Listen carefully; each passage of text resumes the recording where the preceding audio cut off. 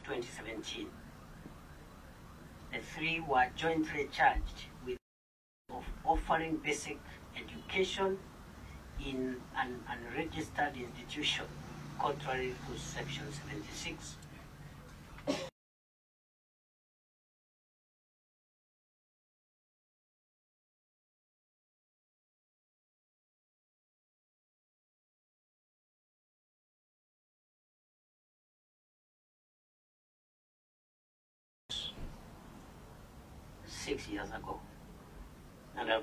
case number as a manifestation of the action taken by the authorities. He was teaching children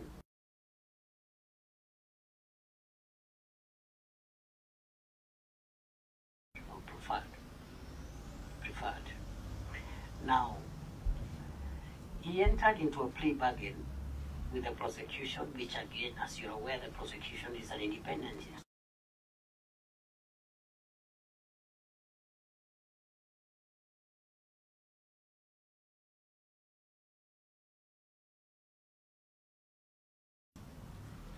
ask ourselves how far independence goes.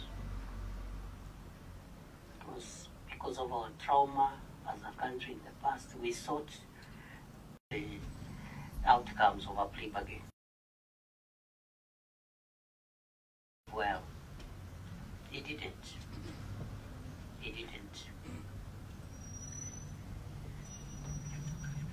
He was charged again the same year to be arrested, there must be a report. So he was again arrested the second time. Remember, the first one was 14 March 2017. The second arrest, on Chair, took place the same year after he has been told to go and behave well. A few months later, in October, six months later, the date is 17th October 2017, he was charged with four counts. And among the four counts, one of them is a serious offense. And I'm not saying the others are not offenses, they're offenses, but one of them is a serious offense. Honorable Chair and the other lawyers in the House, you know about the hierarchy of crimes. There is a hierarchy of crimes. We have the most abominable crimes, both national and international laws, they go escalating like that. Every crime is a crime, but we have a hierarchy of crimes. Among the four counts for which Mr. Mackenzie was charged with was the offense of radicalization under Section 12D of the Prevention of Terrorism Act number 30 of 2012. As members may know, offenses under the Terrorism Act are some of the most heinous offenses and they are treated differently. So was I charged, and I must praise whoever the officers were responsible for taking action, for taking them to court, for prosecuting him and charging him. They charged him under the Terrorism Act.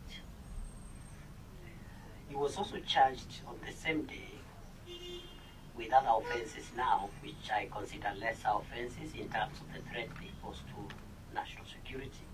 He was charged with offering basic education in an, an unregistered institution, contrary to Section 82 of the Basic Education Act of 2013.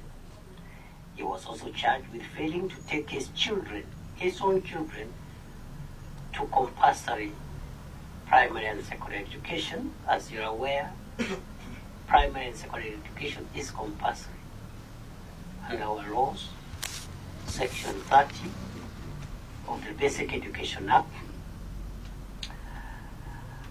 And finally was charged with failing to provide the right, ed- the right to education to many children, contrary to Section 7 of the Children's Act, Cap 141 of the laws of Kenya. Those were the four counts in 2017, the second round of arrest. The first arrest as aborted because of a plea bargain, and then the court orders good behavior. There is no good behavior. He continues to do the same things. He's brought to court six months later, charged with a number of offenses under the Education Act, but principally with one major serious offense under the Prevention of Terrorism Act. Honorable Chair, the court took a number of measures. As required under the Children's Act, the court ordered that uh, children protection files be opened, uh, reports be made by the children welfare officer, and uh, curiously, curiously, Chair, the court granted him bail on 19th of October. After one week, they set him free. They granted him a cash bill of 100,000 shillings. And Mr. Mackenzie was also asked, in the alternative, he didn't, if he didn't have a cash bail of 100,000 shillings, to post a bond of half a million shillings. And other than that, he was not asked to behave well. He was asked to report to the OCS of Malindi, the officer commanding station, Malindi, once a week. The court also ordered that that matter be heard on a priority basis because, and I here I commend the court, the court said this was a public interest matter.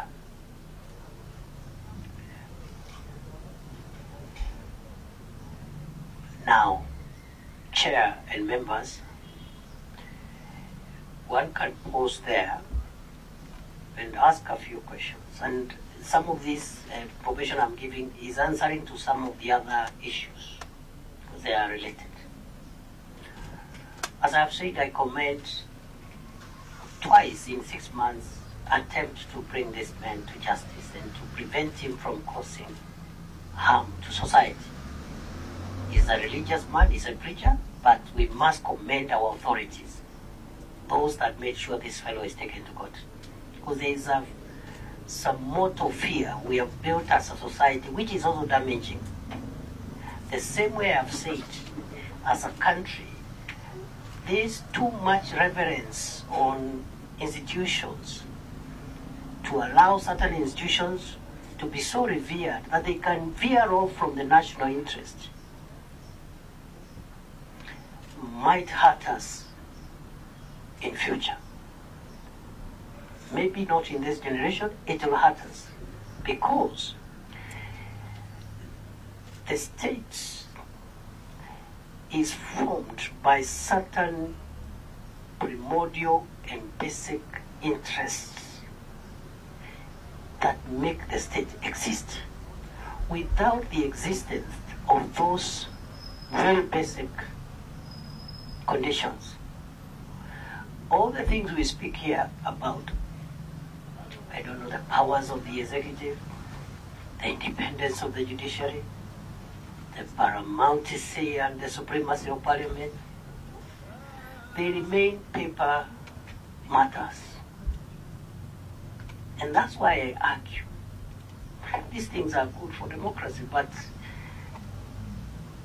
there must be a state first for us to exercise constitutional powers, for the executive to project its executive powers, for parliament to exert its sovereignty as people's representatives, for the judiciary to exert its independence as arbiters and interpreters of the law. But if there is no state, where will be the judge? Where will be the members of parliament? Where will be even members of cabinet if there is no state? So, my worry as a Kenyan and as the minister responsible for our national security, I'm saying, in my view, I don't see the basis why, in the first instance, where a fellow who was indoctrinating children entered into a plea bargain simply because we can't ask the prosecution questions because they're independent. And then the judge sets them free to cause more danger and harm to the society. Right? But I must commend those who made sure there is a bit of accountability. Six months later, there's improvement. The judge says this is a matter of public interest, it should be heard in priority basis. The judge also says that uh, at least he must, uh, he will not just be released like that. Let them, uh, let him uh, pay a cash bail or post bond. But small amounts of money which he paid and went back again to cause the same harm. 2017, six years ago.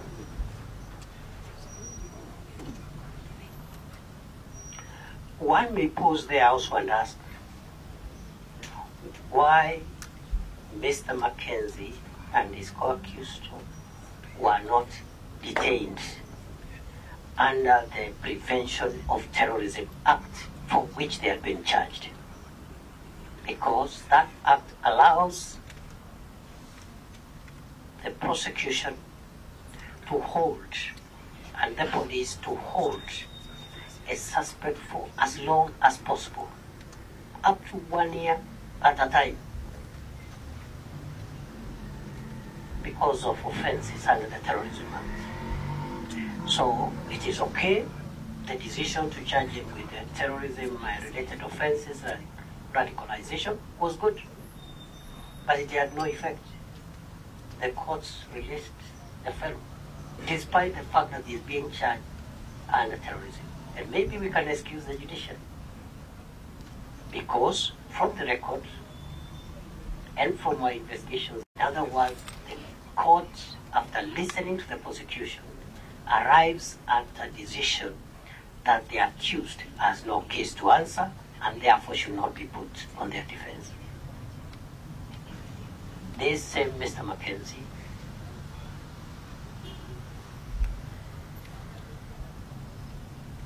And you know, unless, unlike a release under Section 87A, where the person can be rearrested and discharged, once a release is under Section 2, um, uh, uh, 15, they were not, they are not put on defense, and therefore the, the matter ended at that stage. And Mackenzie found freedom to go back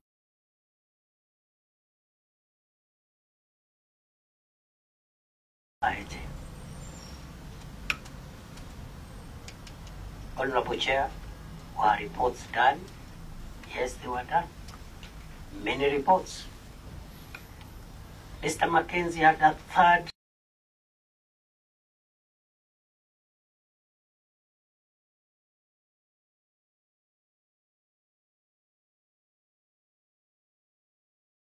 was charged in Malindi criminal case number 366 of 2019 with three counts. One, incite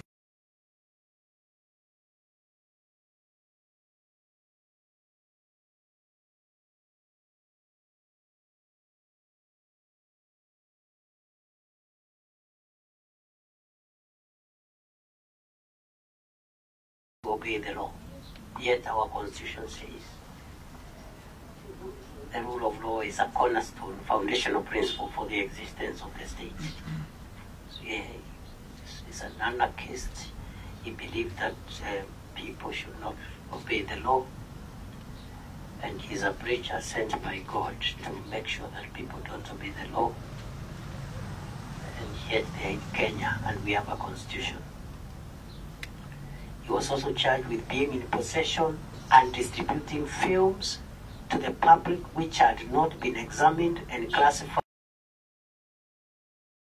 contrary to Section 12 of the Films and Stage Plays Act, Cap 222 of the laws of Kenya.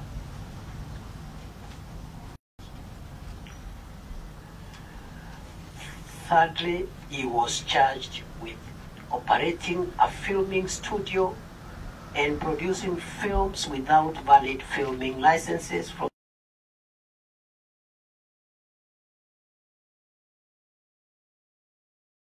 Cap 222 of the laws of Kenya. The court granted the accused person a cash bail who has appeared before me not once, not twice. This is the third time. The offenses appear quite what is very concerned and looked very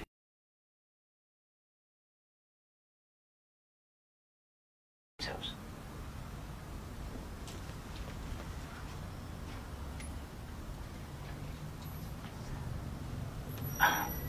So, Honorable Chair, the appearance of Mr. Mackenzie before court at the moment is the fourth appearance, the fourth appearance.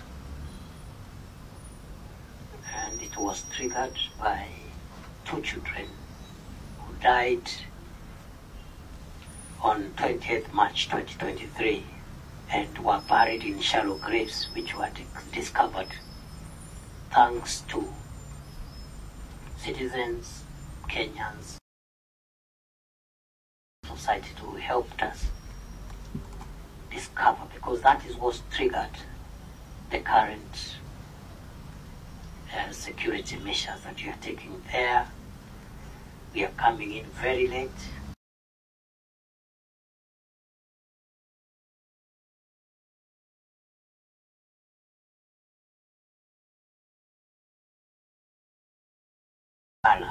They were starved to death and buried in shallow graves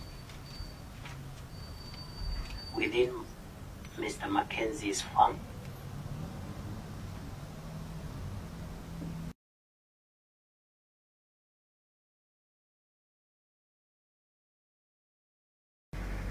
Suggesting that Mr. Mackenzie did not own the farm. That's neither here nor there. I can confirm to you the ownership of that farm is, is, is a complicated matter. But Mr. Mackenzie, please,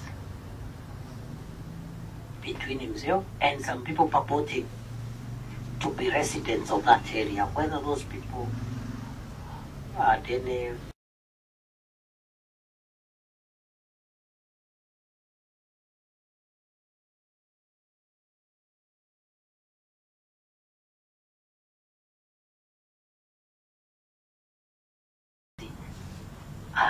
physical possession, had, whether in, in real or purported terms, acquired the entire 800 acres and was in possession of certain contractual arrangement between himself and people who purported to own that land for purpose of criminal of April of March, sorry, 2023, and um,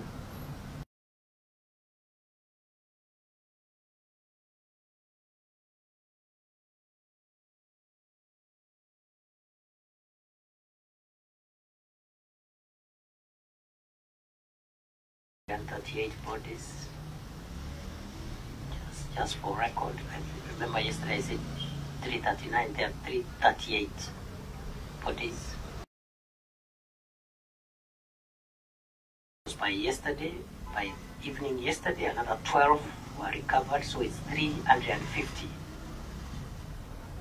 And we have approximately 40 graves.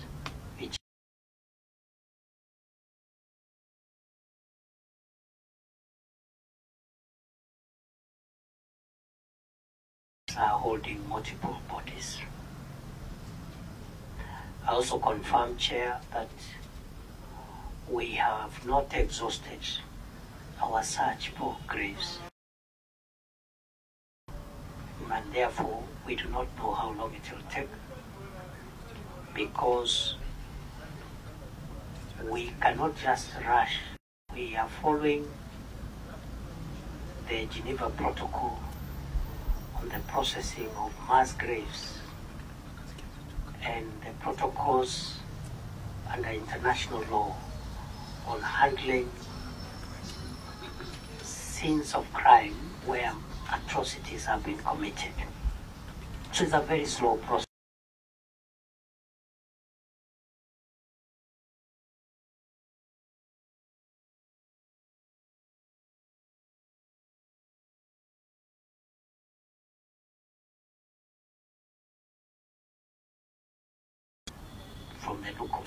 They could be holding multiple bodies. And we have not exhausted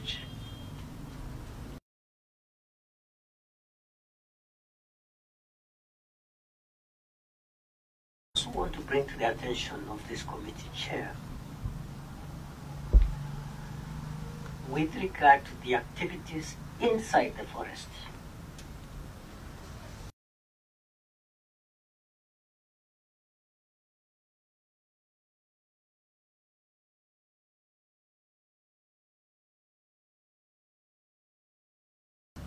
I know my sister, the cabinet secretary for public service and gender, was the member of parliament of that area and had uh, bitter fallout as the MP.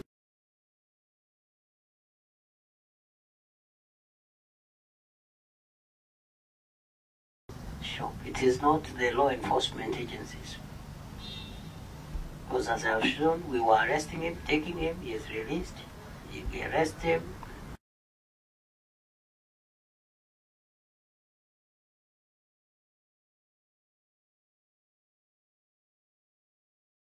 when he entered that forest at the end of 2019, early 2020, some, and, and, and, and, let me put it this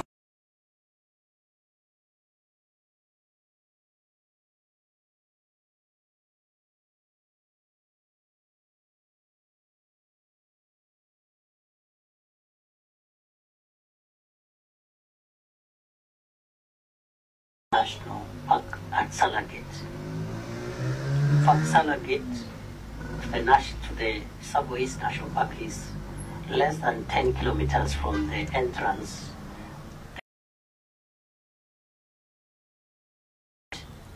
uh, for this operation. And the entire of that uh, Chakama Ranch, uh, the 50,000 acres, the ownership notwithstanding, is a very forested area, it's a thicket, and there's no settlement, as I've said. It's actually, the last settlement is in the area called Bofu. So when he was uh, running away from, he wanted to settle around Bofu. If the committee has gone there, they understand where Bofu is. Yes, Senator. I, I think the presentation by the CS is really flowing. Uh, yesterday, Chair, you know, we the PS for land and so on. Will I be in order to propose uh, through you, Chair, because you know the CS also had appeared before this committee much earlier, and he really took us through some of those, uh, what he's saying now. Uh, would it be in order, Chair, if I that um, he can confine his presentation what is what is uh, what is in this what is in this report? Um, because I think he has cleared item number one, he was to go to item number two, and um, because the, issue of ownership, as you saw yesterday, we discussed so extensively, and and and I understand. He is a man of details uh, because he is serious with this work. But if you can perhaps restrict to this so that we are able to move further, it's just my my, um, my proposal. Uh, yes, um, maybe Minister, you can uh, make progress because there, there, there are other questions that we had sent to you that needed clarification. So you can uh, finish up on that so that we can interact uh, with you. Thank you. Thank you, Chair, for the guidance. Um, I can be long, but I can be also very brief.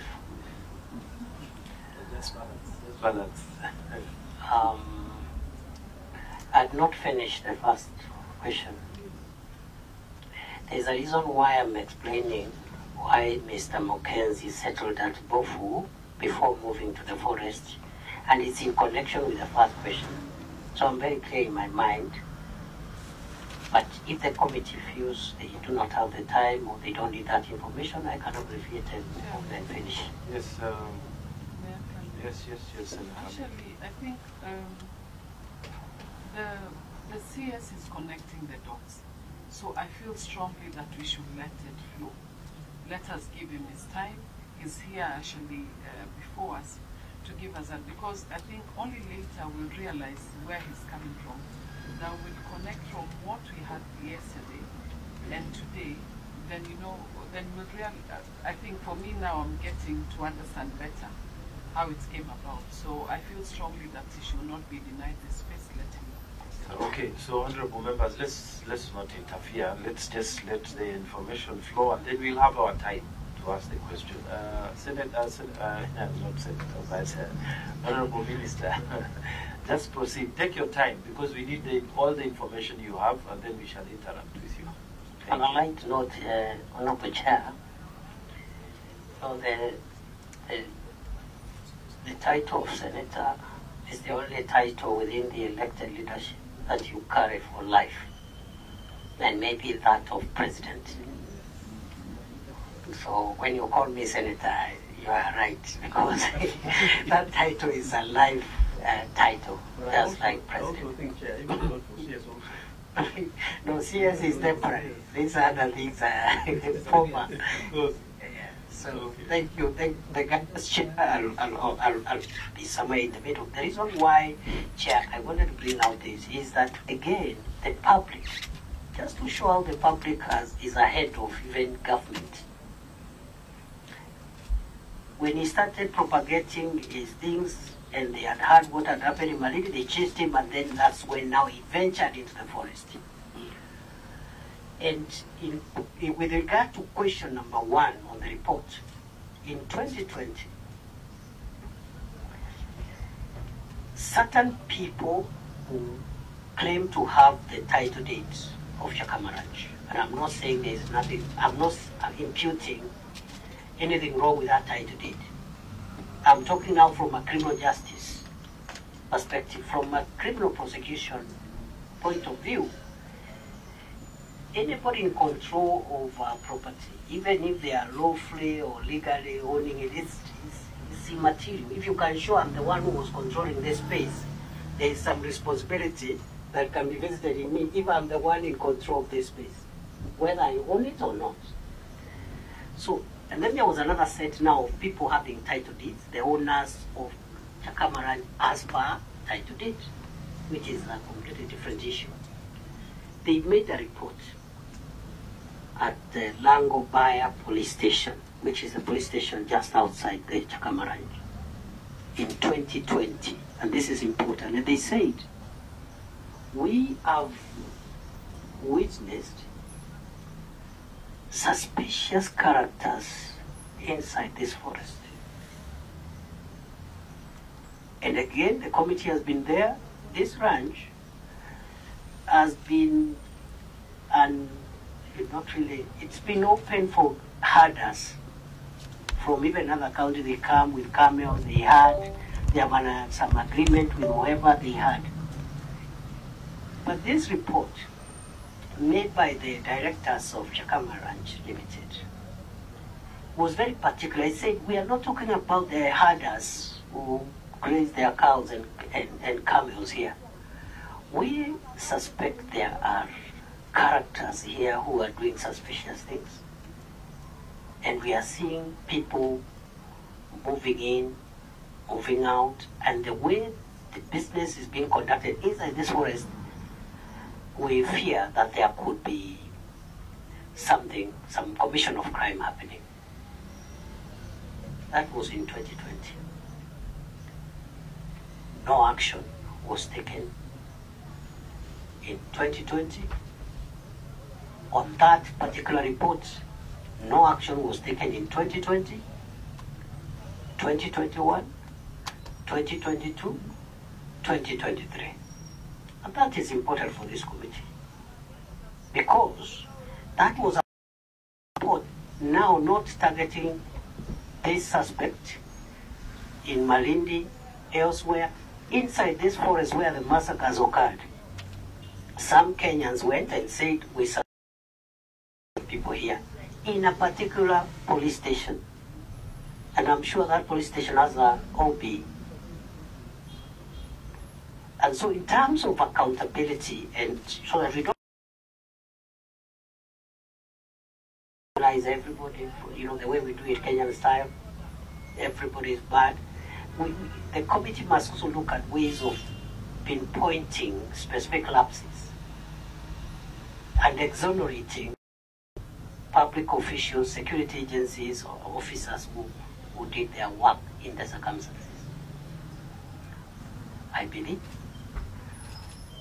the National Police Service, not the entire service, but some officers will have a case to answer, and other organs of security. I believe if at some point, and we'll get there. So, there was a report at Lango Baya police station in 2020. It has never been acted until today. And this report was particularly about the activities in Shakahola Forest, meaning if the kind of efforts which had been done previously could have been done on this particular report, maybe the Shakahola massacre could have been prevented or at least mitigated. It's my view. Those are the actions taken. That is number two. Because number two was what actions the officers took with regard to the complaints made by leader, by residents and leadership. I've answered that question. It took too long for security agencies to act on the complaints raised by locals. I've answered that question. In some instances, it took a short period of time.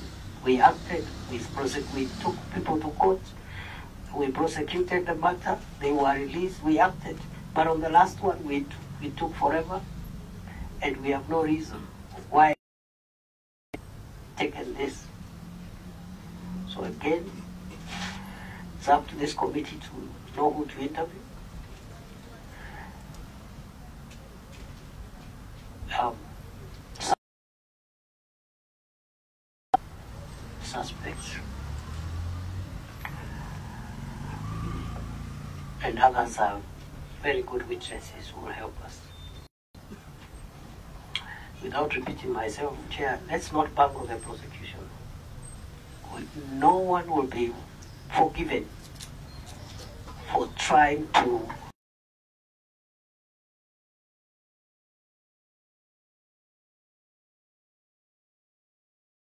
matter, unlike all other matters. This is a national security matter. I have told the ODPP, we must win. We can't lose. We must win this case. We must win. If we lose this one, I don't know what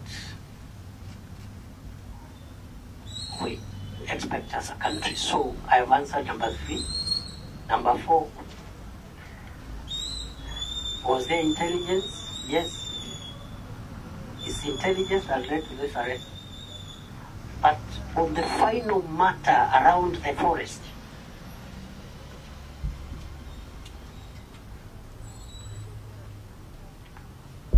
there was no intelligence.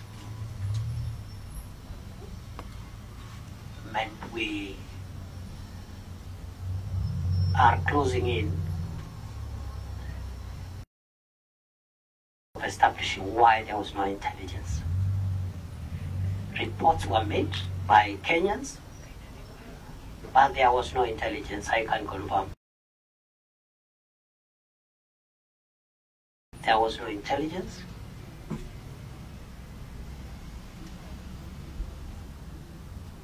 Especially the very delicate parts where our people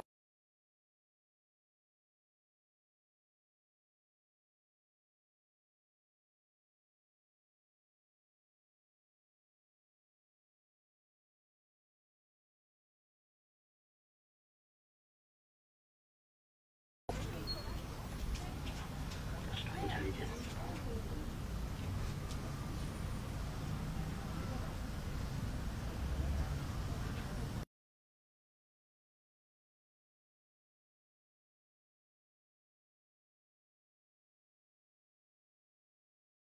Preventing religious organizations from engaging in uh, extreme indoctrination of their followers, including radicalization.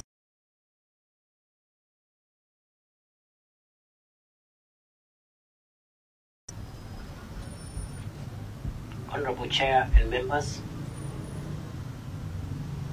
we must face it. Our country is a country that is founded on the doctrine of religious freedom. And that freedom should be treasured at all times and should never be violated.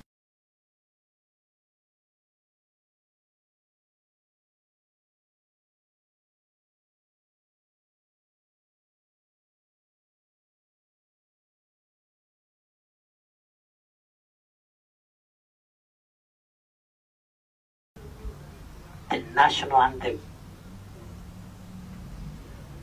O God of all creation. Then we continue the rest of it. Because the national anthem actually is part of our constitution, by the way. The preamble.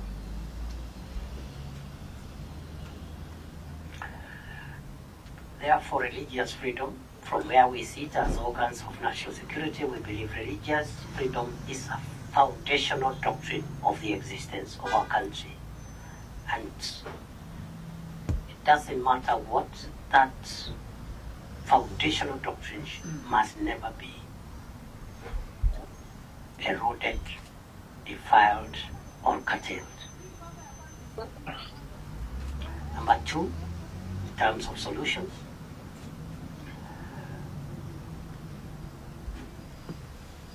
this freedom, this foundational freedom, which is the bedrock of our constitution, like all other foundational doctrines of our constitution, are curtailed. And they are curtailed by about four qualifiers. All the freedoms, including the democratic rights which we enjoy as a country, freedom of worship, the entire Bill of Rights, all those fundamental principles of our country's establishment are curtailed first by public safety. Two, justice. Three, morality. Public morality, not individual morality. That's why you have laws that curtail certain things that appear to be promoting expression of people's freedoms for purposes of guarding our collective public morals as a society. But also all those freedoms, including movement and, speech, religion, they are not they are not absolute. They are curtailed by the need to promote public security and safety. That's why you have freedom of movement. But when there is a, a security emergency, that freedom of movement will be curtailed, and the government will rightly impose a curfew and say you cannot move from A to Z. They have not taken up the right, they have just limited that right, curtailed it for purposes of public safety and public order. Therefore, in terms of this hallowed bedrock principle of religious freedom that is at the core of our country's constitution, going forward, this exercise must be circumscribed by the need to protect collective security in our country. And I am very clear in my mind. We must change from the current laissez-faire approach to reverence to religion to a point where we allow our religiosity and our belief in God to allow members of our society to hurt the society, to kill them, to exploit them, to manipulate them, to indoctrinate them. All those aspects, when they come through religion, must be arrested by the law. We must prevent ministers of religion from using this important right to freedom of worship and freedom of religion from using that space to cause social harm. And there is nothing unconstitutional about that. The freedom to worship and to religion does not include the freedom to kill people or to take their property or to torture them or to expose them to degrading treatment. That is the future. And so, all the things we have said, we will push them through as government. It doesn't matter who opposes them, we'll push them through. No preacher or priest or kadi or rabbi will be allowed to preach. And in the course of preaching, they are killing people, they are torturing them, they are aiding them to commit suicide.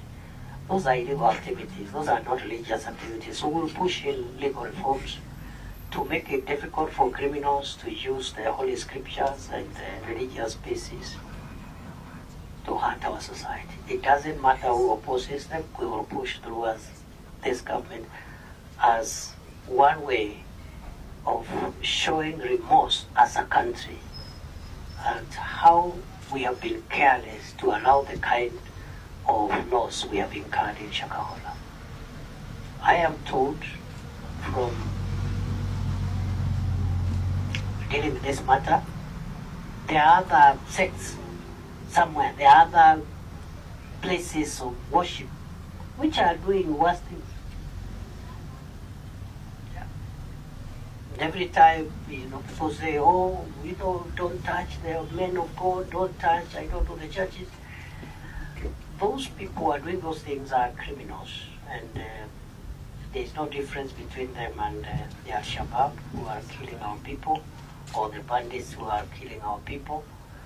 Uh, we will treat them as such. We'll make new policy and uh, regulatory framework to make it impossible for criminals to use the religious space to hurt people.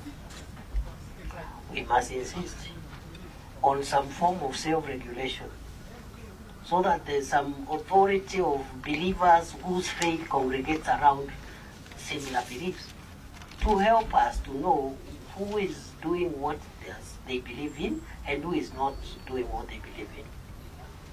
The law will have to address that. And then we strengthen the enforcement of the law. That is our weakest point, Honorable Chair. Law enforcement is our weakest point. And when I mean law enforcement, I don't just mean the work of the police only. Part of the law enforcement. The other institutions, for example, the Registrar of Societies had been informed that Mr. Mackenzie's activities were endangering national security. Uh, I think that was some times back. Uh, the date is in my written uh, statement. When that information was availed to the Registrar of Societies again, so we must strengthen law enforcement. this idea that somebody can wake up and preach anything, anywhere, anyhow, and do whatever they want simply because they are reading some scriptures will stop. Will not be allowed. You must tell us what you preach. Because if you write down the things you, you believe in and the things you preach, then we discover part of it is to torture people, to kill people, to brainwash them, to radicalize them. We will not register you, we will arrest you and put you in 999% of religious organizations in this country from all faiths. We believe as government are doing a beautiful thing for this country. They help people in their personal matters. They assist families that would have been broken without their intervention. Some of them are running education programs through their schools. Others are running uh, training uh, uh, programs, water programs, and, and therefore, and, and all faiths, Christian, Muslims, Hindus, Jews, all faiths, 99.999% are doing a good thing. But the 1% that is damaging is so little that one success of their bad act is a shakahola. And those ones will er- eradicate them for, from our country. We will, those are criminals. So the best, so the, the, there must be a mix of government regulation, self-regulation, something in, in between, but it's not optional. So for those who are saying we must uh, retreat and uh, leave this space and uh, leave it completely and let the religious organizations manage themselves, we will not. Because when this all happens, like in this case, the blame squarely lies on the government of Kenya, not on any other person. You can see the religious people, they have gone back to their places, they occasionally talk once in a while, and even in that talk, they are trying to defend their space. The responsibility, the buck stops with the government of Kenya, and for good reasons.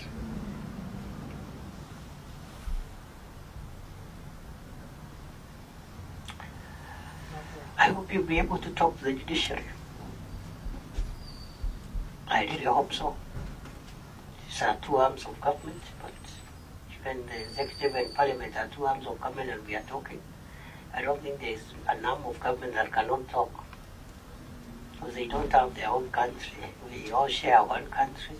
If there is insecurity, everybody will be hurt. Does even a judge can get hurt. Even a judge is exposed to crime. So I hope you talk to the judiciary because we have issues there. And we would want to respect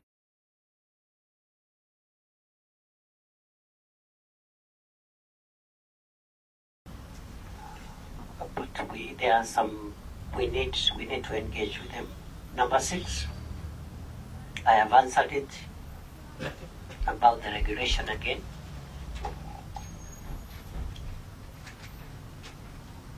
I have answered it Number seven is any other information. And since I've talked for long, Chair, I don't have any other information unless it is particularly requested for through the intervention of members. I want to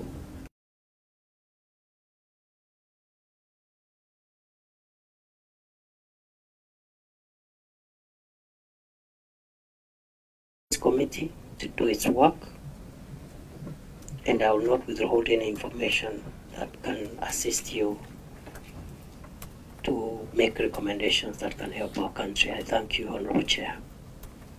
Thank you, uh, Cabinet Secretary.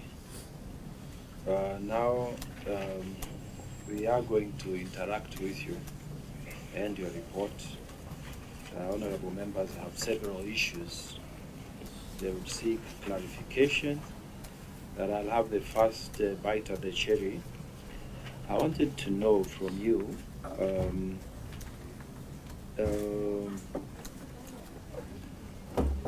at some point in your presentation, you said that um, curiously, I use that word curiously, the, um, the suspect Mackenzie was released uh, on a cash bill after uh, incarceration for one week.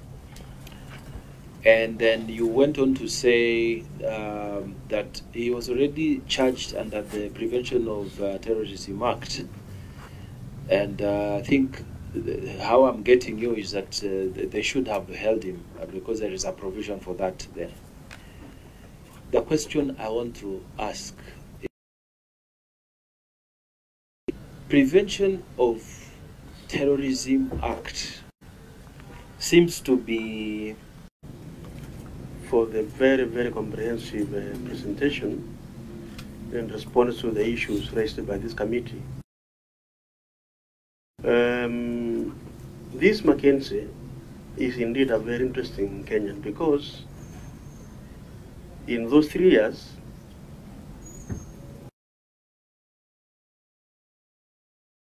acts of parliament, the Children's Act, the Education Act, Prevention of Terrorism Act, the Penal Code, and Films and Stage Play Act. Uh, I think this is one of the Kenyans that should be recorded as having been able to bring within a short time so many laws of the country. But that is why we have a problem in Shakahola, uh, Buenos Aires. Now, I agree with you that Mackenzie should not have been released under cap, under section 210 of CPC.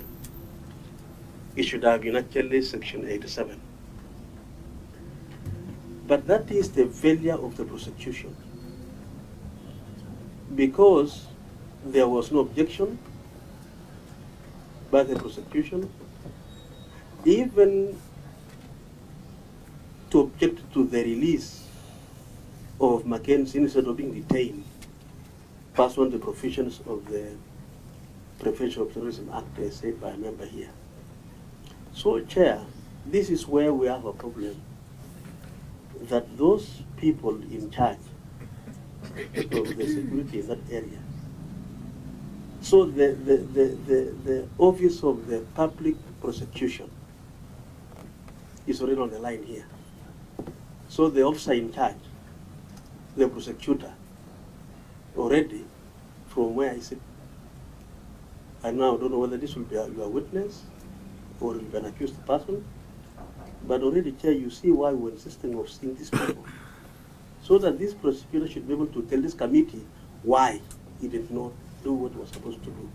But that's something already directed, so we will deal with it when we reach there. So, um, what, do, what is your view on that, uh, Chair? Do, do you think this, uh, and, and I think actually you have already answered that question, so that is an observation I've made. But the last one now is I want to pick your mind on what you do you think should be the policy on land ownership? Because Shakahola and that land around there was 100,000 acres owned by a company. 50,000 was sold, leaving a balance of 50,000 acres. And in our discussion yesterday on CS, through our chair, we made a very big observation that the vastness of that area not being developed and owned by individual, created a very um, a very conducive environment for these activities to be done by, by Mackenzie and so on. What is your thinking on that? Because the, uh, the, the absentee land, the, the, the absentee landowners whom we know and those whom we don't know, in a way, tend to create an environment. In Baringo, for example, another areas, where you keep on fighting us, I mean helping us to fight to fight the, the, the criminal areas. These fellows live in those bushes. In some in some counties, these are land owned by people. I want to pick your mind on that issue of what should be our policy as a country in terms of people owning a lot of land which is not being utilized creating environment for criminals like the one which happened in Shakahola. Your presentation was so exhaustive that I may not need to give more uh, questions, I still want to give you uh, our support as a, as a committee, and we hope that um, you talked of four things where you curtail freedoms of people safety, morality, security. I know the fourth one was what? Order. And I think, Chair, those are areas which this committee will be able to really utilize as we come up with our report. Because you realize the religious leaders are really completely objecting to the issue of government regulating um, uh, charges. So I think we have a very strong foundation based on the presentation by the PS. So Chair, I will be leaving shortly to, to chair my committee, but um, I want to appreciate the CS. Uh, CS, you have the floor. Thank you, Honorable Chair, and Honorable, uh, thank you, uh, distinguished Senator from Baringo County. It's also my professional senior, actually both of you. Um,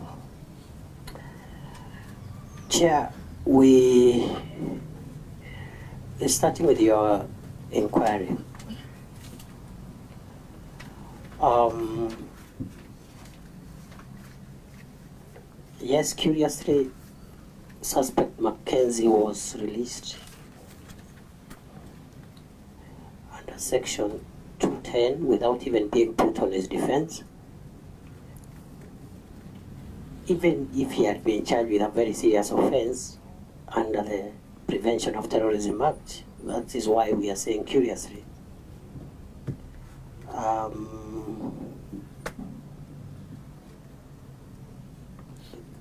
as you look at law reform chair, part of our ability to control the space of dangerous crimes, wherever they come from, dangerous crimes coming from terrorists, from bandits, from drug traffickers, and those who meddle with the public health and safety through selling drugs and psychotropic substances, whether the dangers are coming from religious extremists and fundamentalists like your committee is handling. We must look at what else that is not in the available Kenyan and international laws that responds particularly to this issue of religious extremism and dangerous doctrinal uh, impartation of our populations. And now uh, recommend either through a miscellaneous uh, legal amendments of miscellaneous laws, the Penal Code, the Prevention of uh, Terrorism Act, the Prevention of Genocide Act of 19 of 2008, and so forth. You can have a miscellaneous statute law amendments on all those laws, including the Criminal Procedure Code, Count 75. That is one way, so that whatever is unique about religion can be processed through a statute law miscellaneous. And that will bring on board also the regulatory bodies like the Register of Societies and, and so forth and so on. And in your, we must, as a country, if we have to save the future, because we have already lost the present. And I am saying we have lost the present chair because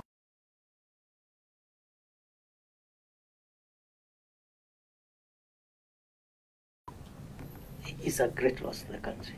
Even lose one one person who is lost to a criminal is a big loss to a country. I know of countries that even go to war with other countries because of the loss of one soldier. But I think this, I don't know what has happened. We, we look at some of these things as natural. You know, people have died. We're just excavating every day and counting bodies of children and women and men. And it's as if it should be happening. So we must escalate these criminals who are hiding in religious spaces and package them to where the most dangerous criminals are kept in our laws and under international law. And this issue of people being released on cash bail when they are being suspected or they are being processed of very serious crimes, we have to look at it. I'm now handling a request. Kenya is handling a request now on the repatriation of someone who has been in a foreign country for the last 20 years under detention in uh, I can even name the country, the United States of America, one of the most, the people say is one of the most democratic countries in the world. A Kenyan national who has been under investigation for 20 years. 20 years, since 2003, for being suspected of terrorism. And after 20 years, they have cleared him. I would rather we take precaution and save the society than to be too liberal. and then our work is to bury people's children, spouses, relatives as if it's a casual thing. So when we do the statute as if you find that uh, an approach, the punishment bit must must accompany it and also the procedural rigor the procedural rigor attached to the dangerous crimes or people suspected of dangerous crimes in the religious space and those who are doing indoctrination. That is my view. To respond to, uh, you also asked whether we should have a new genre of offenses. Maybe, maybe not. Maybe because in the process of this inquiry, you're going to discover things we may not be aware of because this is a special moment and this, this has not happened before. And by the way, Chair, since Kenya's independence, this is the worst security breach in the history of our country. This is the greatest attack on our national security in Kenya's existence. Is that serious? So, as you as you process this, because it's a unique moment that you're talking to so many people, you might want to create a new genre. But I submit that we have enough laws. We just need to enforce them. This country, Article 2.5 of the Constitution says that we all international treaties and conventions to which Kenya is a party are part of the laws of Kenya. So we enforce international law in our courts effortlessly. Part of the laws includes the laws on terror, the prevention of terror, which are international treaties we have signed, including the 1999 um, convention, UN convention on, on, on the prevention and suppression of terrorism. It's part of the law of Kenya. Kenya is also a state party the United Nations Convention on the Prevention and Punishment of the Crime of Genocide. Looking at the, all the facts in the Mackenzie matter, genocide is, is all the four ingredients of genocide can be proved, even when you are closing your eyes. Now, the Genocide Convention, as it is called, of 1948, is part of our law. So why bring another law? You just enforce it because of Article 2.5 of the Constitution that uh, en enables our judges to apply that convention, which treats those crimes yeah, in that manner. But I don't rule out new ideas that you will uh, uh, capture as you talk to people. Finally, on what um, my senior, the distinguished senator for Baringo, has asked, um, I agree. He, should have at least the facts. He should have assisted uh, those who are making decisions to make sure that at least this person is put on defense. So part of the problem, weak, weak attention by the ODPP on on some of these very serious threats to national security, these serious crimes. but also the judicial. The judicial uh, part is, is an important thing. I note also with surprise, unless I am informed otherwise, that no appeal was ever lodged against the acquittal. If he was acquitted by the magistrate Malindi under Section 210, a prosecutor should have gone to the High Court and appealed against that acquittal. It has never been done. Let me put it this way, Chair. We are staring at a huge crisis as a country until when we realize that we all live freely, work in this country because it is safe and secure to do so. And put security where it belongs. Security first. All these other things, you can transform the economy, you can do many other infrastructural development, but a country can come tumbling down once because of security issues. And I think we have not reached there. And finally, um, the issue of land ownership. I believe, Chair, if this committee will have, in its wisdom, decided to recommend legal reforms, whether through standalone statutes or through statute law amendments bill.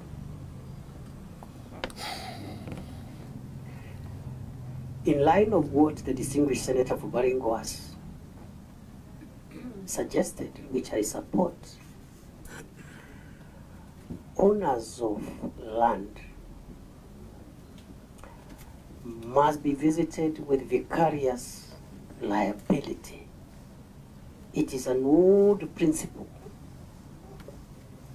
For the lawyers in the House, the rule in Rylands versus Fletcher must apply to owners of land.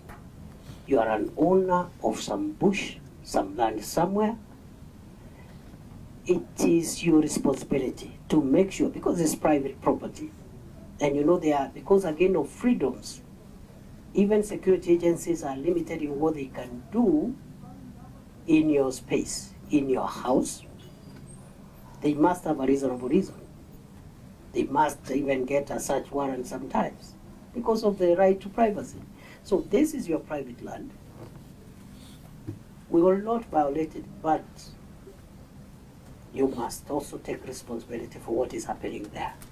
It cannot be a hideout for dangerous criminals, and then you come telling us this is your private space. It is your private so long as the law and order is um, established and uh,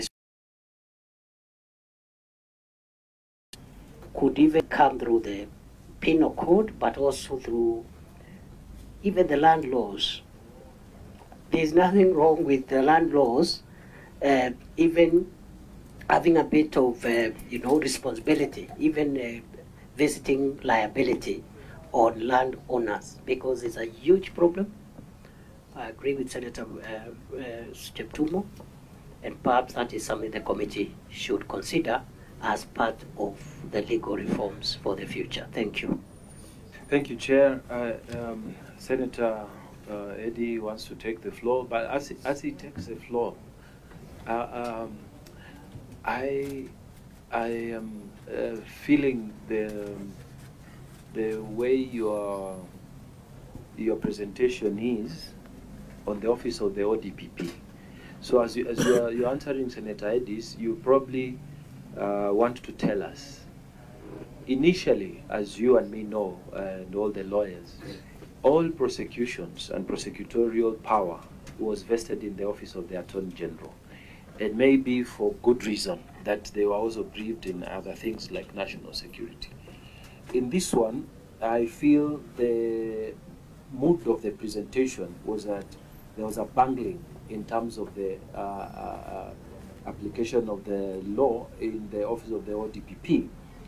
So I wanted you, as you're answering uh, Senator here, to tell us, would you be comfortable or is it your recommendation that we should have a return to prosecutions on issues only regarding public security, you know, mass public security, be returned back to the Attorney General? Is that your thinking? Would it be a better way to work and then we leave the ODPP with some, the, the normal prosecutions, but when it comes to huge uh, public security issues, the, the, that prosecutorial power should go back to the Attorney General as it was in the olden times.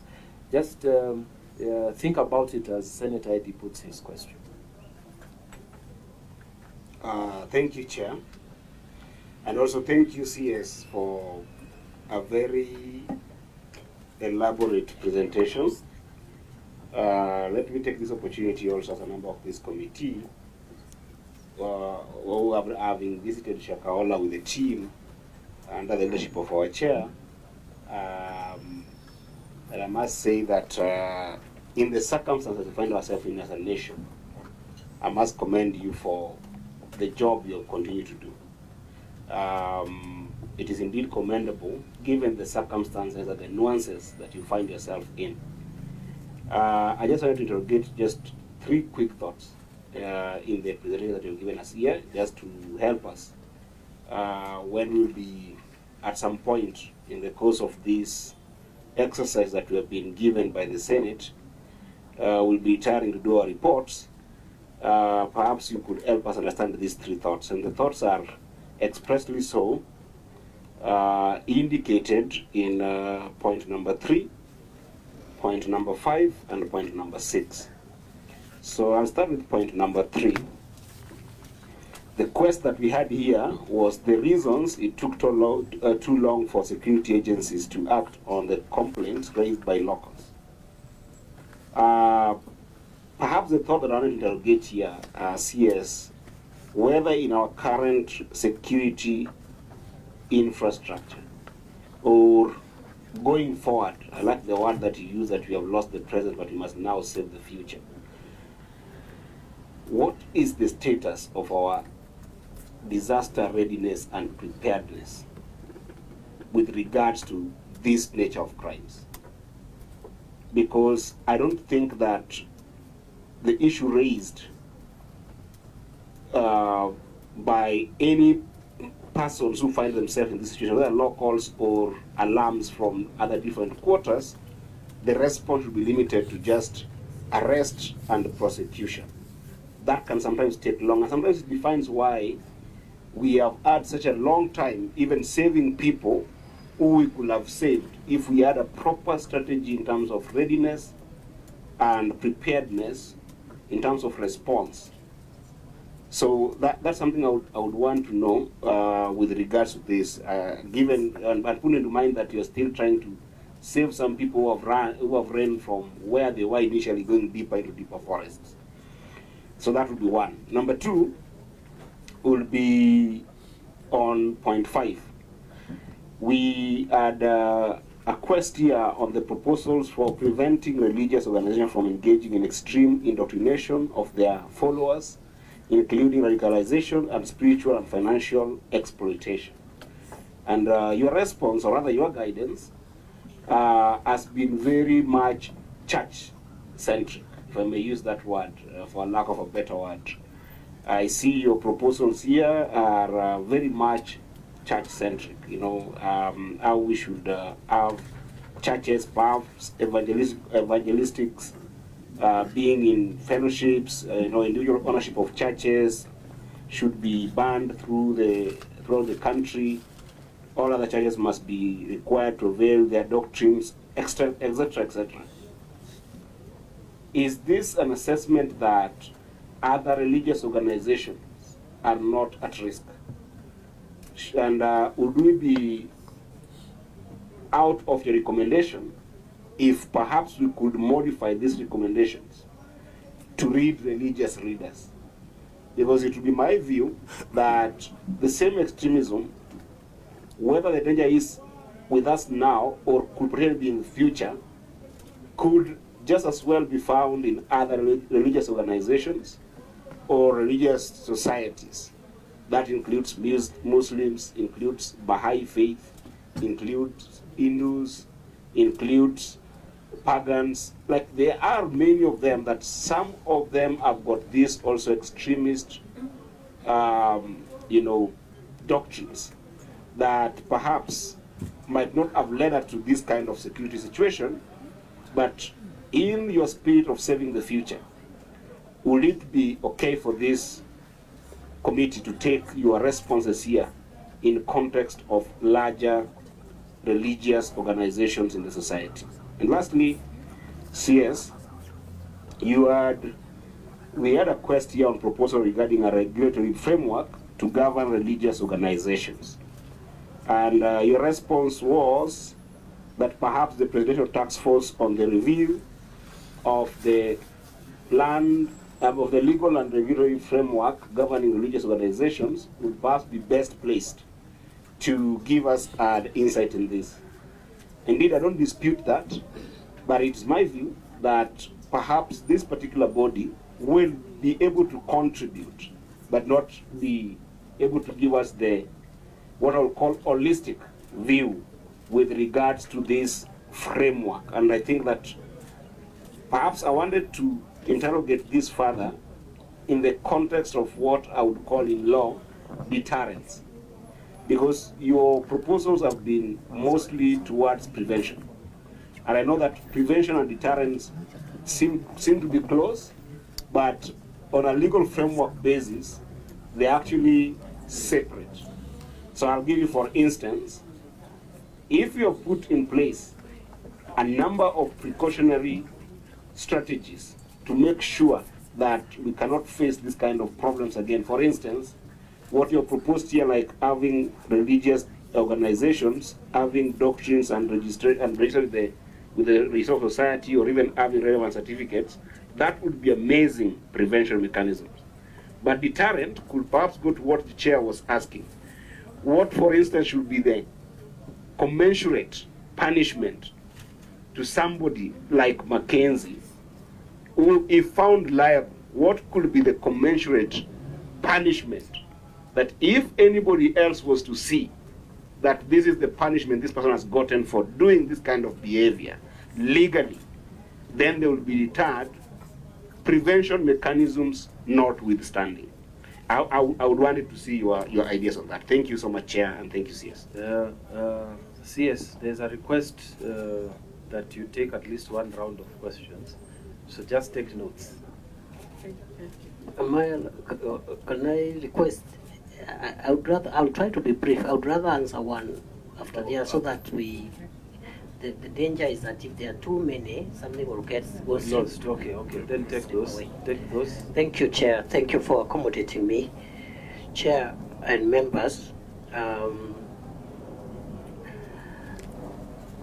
the logic of removing the powers of uh, the public prosecutor from the Attorney General of the Republic is a logic which is justifiable and which is uh, based on international best practice in many jurisdictions of the world. It will be a clawback of our democracy to again return the powers of the public prosecutor to the Attorney General of the Republic, in my humble view. This is why. The Attorney General is the chief legal advisor of government, period. The work of the Attorney General is to advise government agencies so that they conduct their activities within the law. The public prosecutor has a unique role of ensuring that uh, the criminal justice is realized in the country. It's a completely different role. It will be a clawback on our democracy to try and lump the powers of the chief legal government advisor with those of the public prosecutor together. First of all, it's not neat. Already, even whatever is left of the Attorney General, that mandate is overwhelming on the state law office. You can imagine the number of legal advisories, by everyone in every ministry, department, agency across the Kenya on a daily basis. They are doing a contract here, a tender here, uh, an administrative issue here. It's overwhelming. We've just passed in cabinet uh, recently. I think it will come before um, the Houses of Parliament. Uh, a, a, a, a position uh, on um, decentralization of the office of the Attorney General. They can't deliver. Sometimes we blame institutions, yet the capacity has been held back. So, in a nutshell, it will be wrong doctrine to claw back on the advancement of the 2010 Constitution of separating the chief legal advisor's office, who is the Attorney General, with the prosecutor. Initially, they were together. So already, even what is left is overwhelming. The solution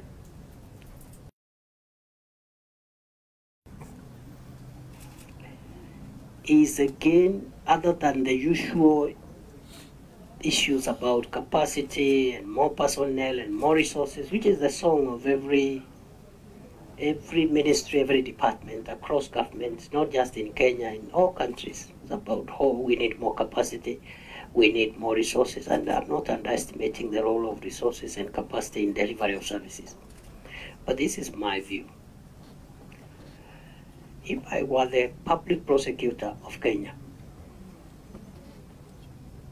if I were the Attorney General of Kenya, let's give those two examples because they are the ones which have been raised on the floor here. There are certain matters, because of their gravity, because of their gravity, those matters, with or without capacity and resources and all the other things that are lacking, that must be handled seriously, carefully, and at the highest level. I'll give you an example. Why we've been losing so many cases is because you have matters like this, of this type, the Mackenzie type of matters. And you'll see, and I've nothing against the younger advocates and the younger, you know, some of the young advocates are very good people, including prosecutors. But there are some things that cannot be processed in any other way. You're chair, you're a legal professional, and you know the meaning of seniority in the legal profession, even in terms of persuasion of the judiciary. You know what it means. And there are some things which you cannot cover them up. The reason why we have senior counsel in the bar is because they hold a certain card that only a senior counsel holds that card. The judge is forced to be patient and even when the judge is uncomfortable, to be respectful. The senior counsel to make their cases, they can even address the court for hours, which a young advocate who was admitted last night will even be dismissed before they greet the judge especially if the judge has woken up with, uh, you know, maybe they are stressed and, you know, they are also human beings. And there are things which only senior counsel, even within the senior counsel, there is the order of seniority. There are some lawyers who will get away with anything. I remember during my practice days, there is uh, one of our colleagues who passed on, the oldest advocate who, at that time, and he would come to court late 30 minutes late and they sit down. Of course, the other matters will be put aside and his matter will be called. And, and he wakes up and says, Oh, Judge, I'm sorry, I'm late because I was attending my wife's birthday. And because the, the judge is the grand student of uh, this fellow, there is nothing he can do. What am I saying with regard to ODPP, Chair? I believe matters like this must be prosecuted by the Director of Public Prosecution in person. Are matters which I would expect that the Attorney General of the Republic must prosecute them in person because they are lawyers. That way, of optics, the country and the justice system, even the judiciary, which is dispensing justice, is aware this is how seriously we are taking this matter. You send a young lawyer to handle a complex matter of monumental implications on our justice and security system. Some young lawyers there, this is their. How do you expect to win that case? So the improvement must be within the existing institution. The ODPP is the right structure, is the right institution. But I'm afraid, even as much as the, there are legitimate grievances on how we could improve service delivery, I am not persuaded at the moment as a country, and I'm not blaming any particular state official.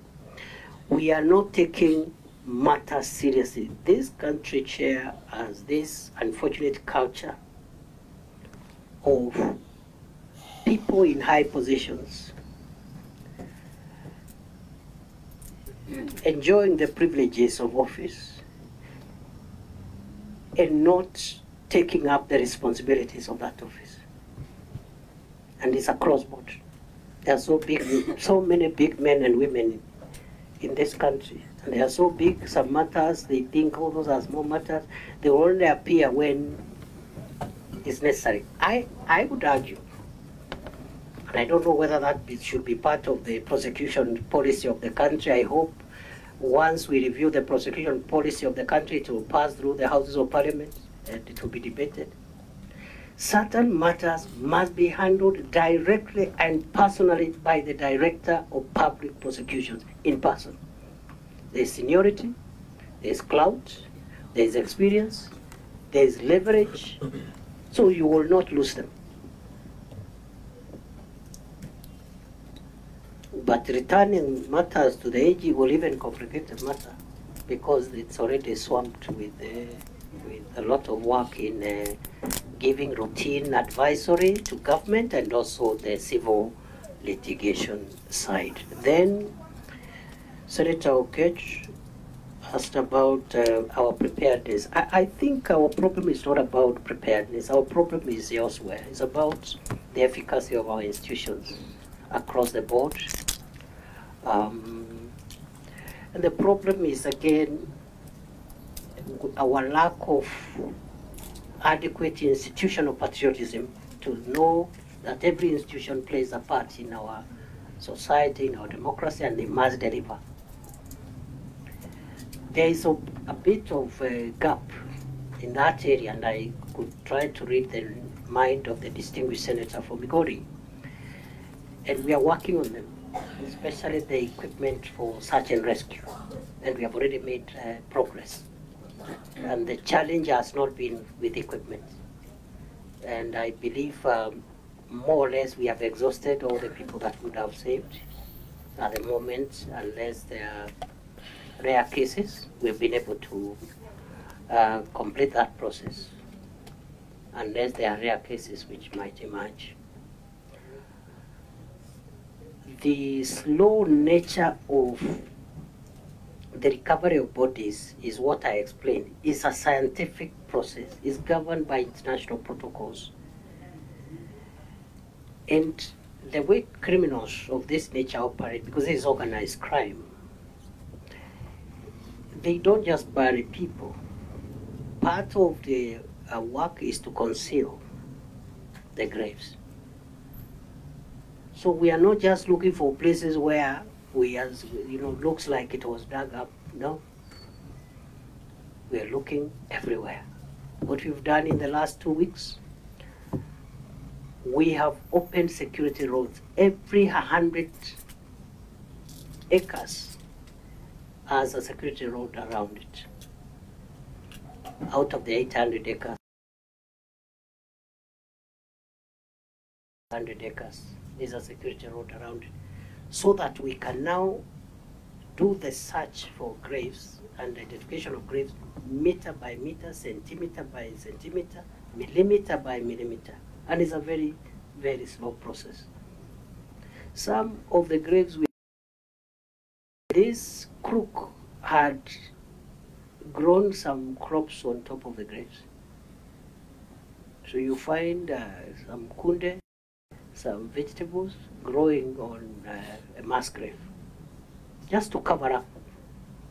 Others, there are structures that looks like a house, inside is a grave. Others in very unlikely places. So that will take a bit of time. Um, deterrence, I agree with Senator Oketch. It's one thing to to bring the crimes, the elements of the crime, but this must be connected with the procedural, uh, you know, tightening of the process. To once you're suspected of certain crime, the procedure is different, and then now we strengthen our institutions so that that process is not abused. That's how other countries have, have uh, made some progress in this area have done. We make it impossible for the, the procedure to be abused so that if you disagree with somebody, either because of politics or whatever differences, you go and put them on a track for suspicion of terrorism so that they are kept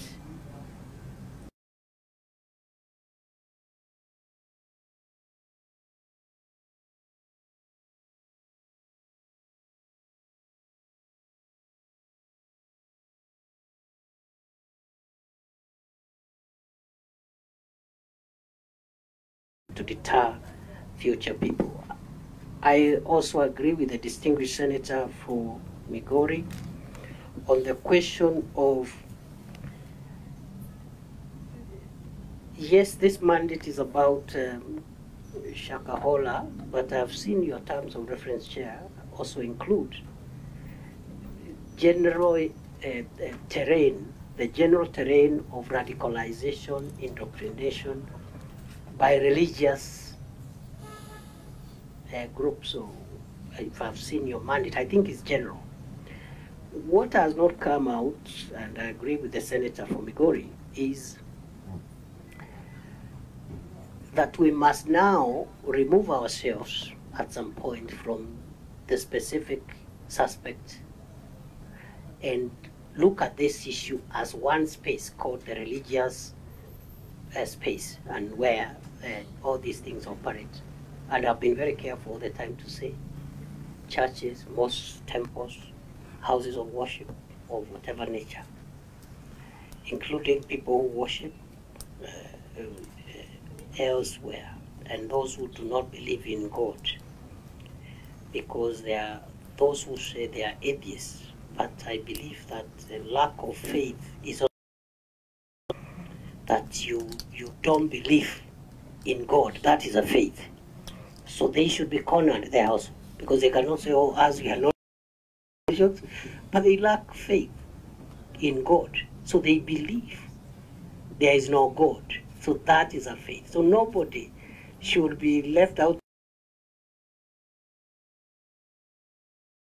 Satan or others who worship whatever they worship, the ancestors, others don't worship anything, they not worshiping anything. So, Mr. Chairman, nobody, I repeat, nobody should escape your dragnet. You must catch everybody, as suggested by our brother, the senator from Migori. Chair, um, and, and, and, and just one small item there that there's a reason why there's too much church related attention because of this particular incident that caused all this inquiry and a particular preacher of the Christian faith. Uh, we should not be so obsessed with only that incident and forget uh, that faith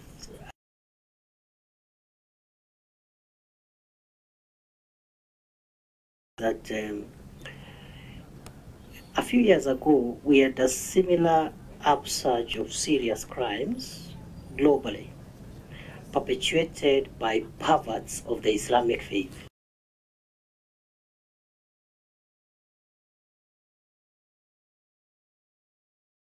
some of it is still ongoing. This country has suffered a lot. Many countries in the world have suffered a lot by people who are causing mayhem and death, hiding under this. Measures we took in the early 2013, especially the Security Laws Amendment Act of 2014, which controversial as it was, by the way, is what has sustained this country.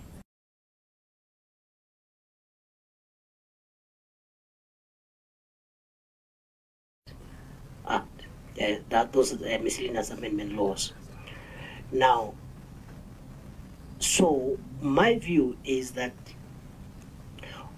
this incident that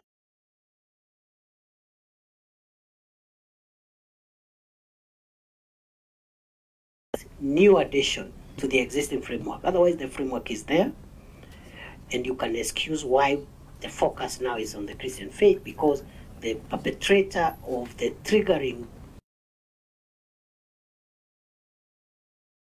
inquiry is uh, of the Christian faith. Um, lastly, why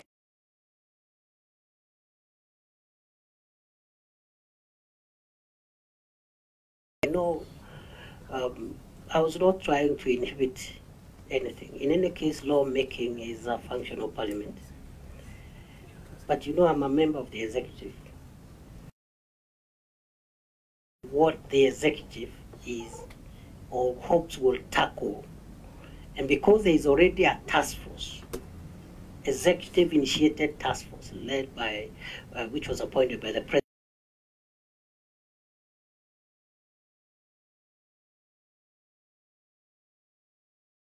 Because now there is an executive initiated process until it brings its recommendations, processes them through the appointing authority, and then now we can present them for incorporation into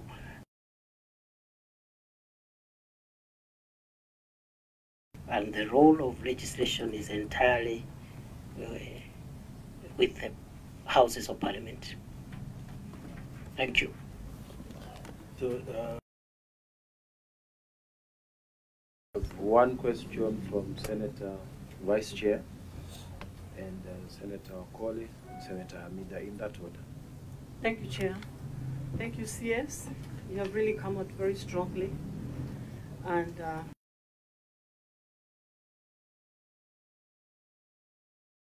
say on the issue of the discovery of the two bodies for the miners. When we were uh, previously, when we visited, we, we were informed that those uh, two miners, the discovery, there was there, there was a report. We were informed that the grandfather who went to report to the, he, he, actually he is the one who discovered those two miners with the help of the NGO. He went to report to police to get assistance, but was in vain. Yeah? So after he reported and repeatedly efforts to report to the police to get assistance, there was, there was no help. So he, he got the help from the NGO to go and, uh, and help him to get the bodies of those two miners. And uh, after that, which was 20th, 22nd, Mackenzie, Mackenzie was taken to court. Yeah? And then in April 19th, that is a period of one month, that Okoa Maisha thing came in. How did it take one month for the Okoa Maisha to come in after the discovery of the two miners and the bodies which were discovered by the headers? Yeah? And even after the reports to the police, but still there was no answer or any help from the police. I know you have come out very strongly to blame the judiciary, which I would agree with you 100%, Chair, and I would agree that we need to interrogate these uh, judiciaries who were here, uh, who were involved in these Mackenzie issues. And uh, I, I really want to tell you that when I CS, Mackenzie could not have done all he did as a person individual himself. He had a very big network. And that is what you need to get to the bottom of because what matters and what is important is the evidence. you have realized how the judiciary has been behaving. And most likely it is because of lack of very uh, strong evidence. And when we, if, if we don't tackle this issue, which you have said, there are still other issues existing in our country on the same nature, then we will never get anywhere. As you talk that we have lost the, the, the present, we will still be losing the future. And uh, also, you said that uh, you came strongly to say that there is a legal document between Mackenzie and the people down there on the, on the ground. That document, I don't think it's legal, and that is the document which will be thrown out by the judges if you think that is the document which will help us in court. Because judges would say this is not a legal binding document, we need the, the legal binding documents, which is the title deed and the owners. And Mackenzie, what I see, he might even uh, be free because he has come out to say that land is not his. And true to his word, yes, the land is. So, unless you have very strong evidence, and that is why we insisted on investigating those uh, officers who are on because I, I, I would rather they were suspended or they were actually taken in for investigation to start immediately rather than them being transferred. I don't understand how. Now, on the issue of freedom, how free is freedom? Because you, you really insisted that freedom is enshrined in our constitution, which is very true, freedom of, uh, of worship. And here you came up with your proposal that individual ownership of churches should be banned throughout the country. Is that freedom? So I think we need to really see how best we can handle this thing because when we talk of freedom, uh, freedom with no limit, it can cause damage to the country, and it has done already. So, when I see uh, I really thank you so much. But uh, those are my few remarks. Thank you. Uh, Senator Wakoli. Thank you, uh, Chair. My question was directed to Waziri. We've had interactions with the non-governmental organizations that uh, have been involved in this operation. And uh, their perspective is that uh, the police is well funded to do this, uh, this operation, unlike other departments like the pathologist, prisons department, children's department are well funded, the child care rehabilitation centers, as well as prisons where, where suspects have been kept. Food and housing is a problem. Uh, would like to know how, uh, how is the funding taking place in these categories of uh, teams supporting in uh, this operation in Shakahola. Number two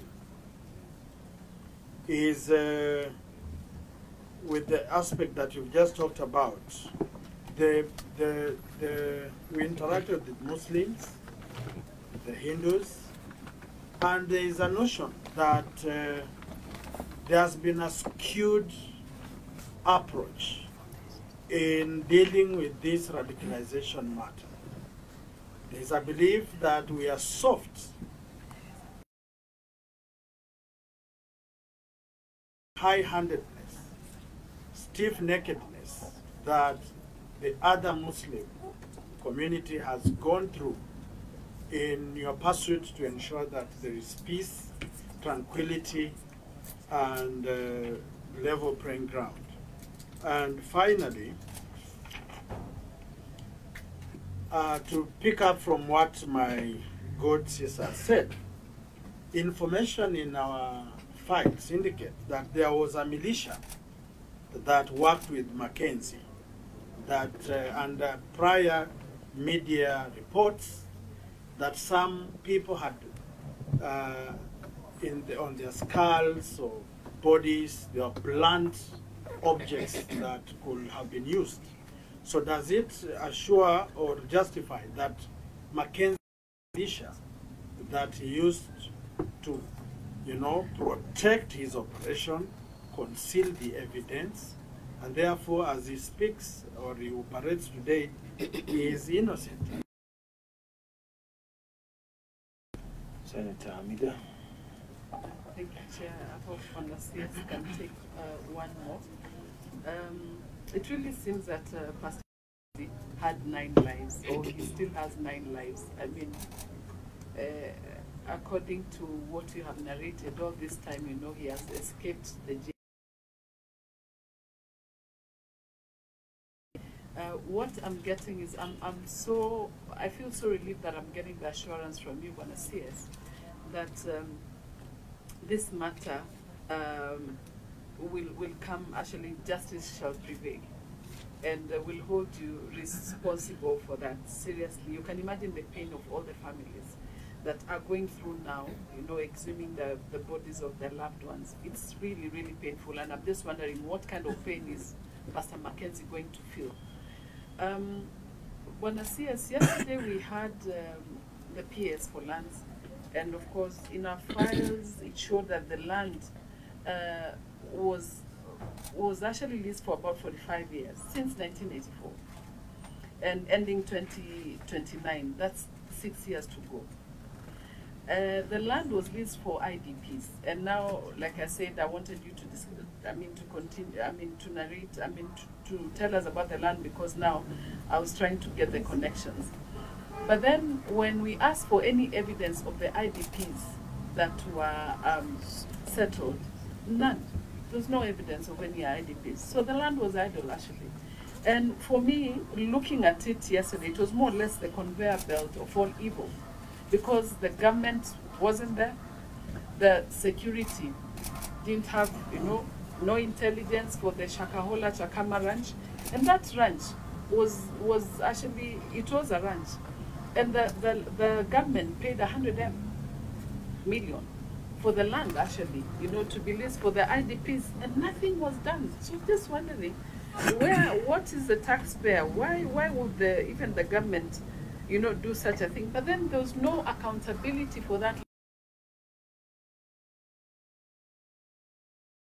On a CS, and you know, there there was no kind kind of you know real settlement, you know, for Kenyans. Nothing, zero. So this, apart from Mackenzie, I'm still wondering also, were there other people who did the same? Are these bodies being exhumed? Are they just for Mackenzie or other, you know, other evil? So anybody would have played, you know, it was it was a field. You have your own, you know, issues. Memalizana na mtu, maybe that was the place. So for, for, for actually Mackenzie to have settled at that place and comfortably doing what he could do Yes. for years, I mean, it seems like, and imagine 45 years, the, the, the, the, the you know, the, the, the ranch is open. Any kind of evil would have taken place. So as much as, yes, Mackenzie has issues, what about the other people? And of course, we blame the government for this. What other evils did, uh, um, went on in, in Chakama Ranch? I'm also hoping that the mental health for police officers, actually I passed, we passed a motion. That was my motion for mental health.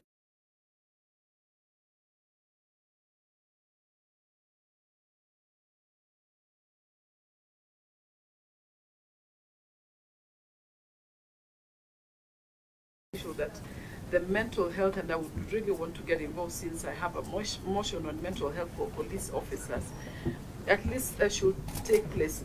Just one more, um,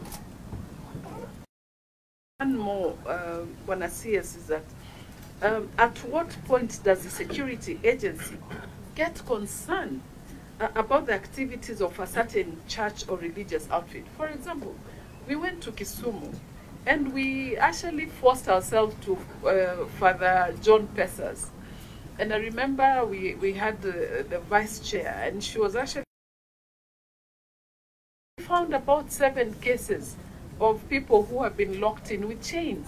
and lock and chain. You can imagine. So all these things are still going on, and it was, it's unfortunately we didn't have time.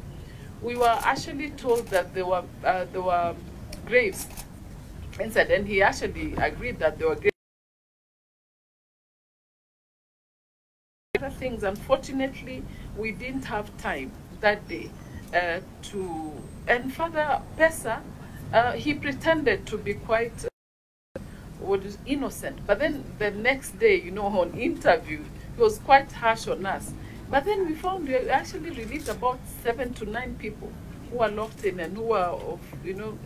So I'm just wondering at what time, at what time, uh, the, the Nigerians, yesterday we had, I think, civil society, come, with there's civil, human rights, young people saying they're, they're Nigerian, um, uh,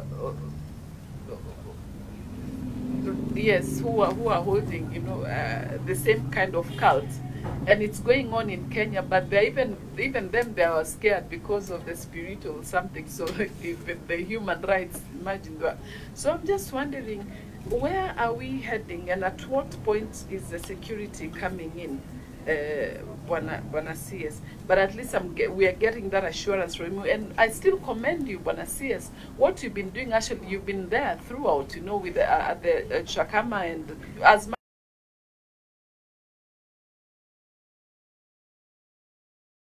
new graves, you can imagine digging in new graves over and, and over again, and you're telling us you're going to a new site.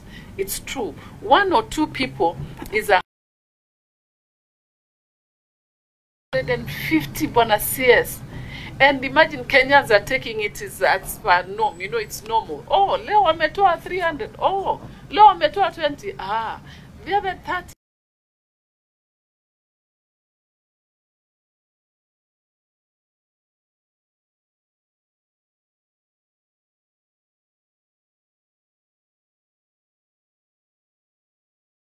Imagine the families that you know are left behind but we are 350.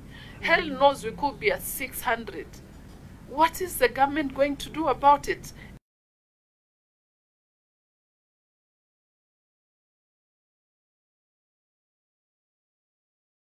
The judiciary, seriously, they must answer to this.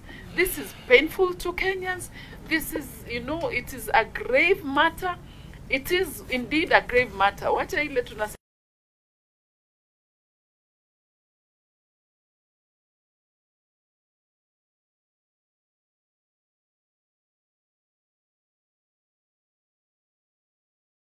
guys, you know, would have identified. But then Chak- Chakama Ranch, and we have any, if we have any other ranches, wanna see us going through the same kind of evils, this must stop. Asante.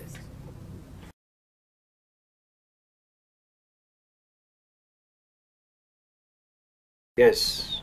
Thank you, Chairman, and thank you, Bwana CS, for the presentation.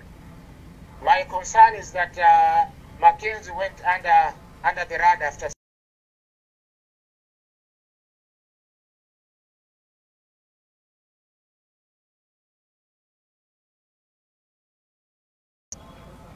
uh, who had conned people and then because of the conmanship he proceeded to murder them when they were asking questions on where the land they are stealing in.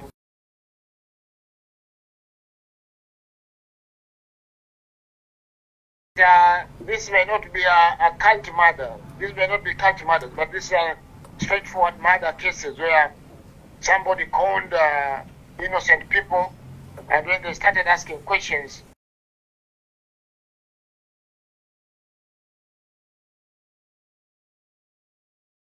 capacity of the police who are in the outer stations. You know, you in your presentation you said that several cases had collapsed before the magistrates court at Malindi. Our proper investigators of those cases, I don't think those cases will have collapsed at that particular time. We may blame the courts, but you know the courts are independent arbiters. They are there to decide on the evidence that you present. If you don't have evidence, whatever you do, even if you uh, you proceed to appeal, the appeal will be able to to vindicate the, the accused person. And you see how our courts now are becoming more and more liberal. The other day, the Court of Appeal abolished the life sentences. Now you don't have uh, uh, capital offenses. Even if you are charged with a capital offense, you cannot be uh, sentenced to hang. Even the uh, life imprisonment is also going to be abolished because the, the court has also said so. So we are delving into the realm of uh, the unknown. And I think we need a whole conversation on the on the justice system because we, the, the way the courts are going, we may not be able to have any any prisoner uh, in jail in the in the next 20 or so years. Thank you, Bwana Sis, and the chairman. Thank you. Uh, uh, CS speaks. Uh, okay, so uh, CS, maybe you, as you speak on this the human rights organizations made a very strong uh, case that uh, the 95 adherents or followers of uh, Paul Mackenzie who are charged with attempted suicide ought not to be treated as suspects in court. Uh, they ought not to have been charged.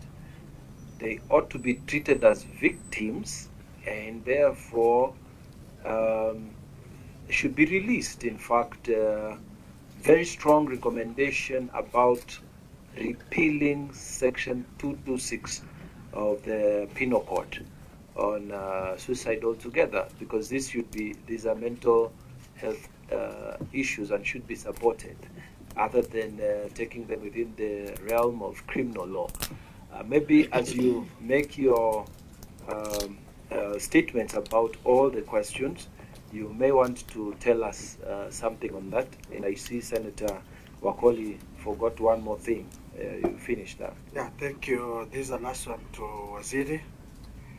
Uh, you've uh, elaborated the efforts by government to put behind bars uh, Mshukiwa Mackenzie.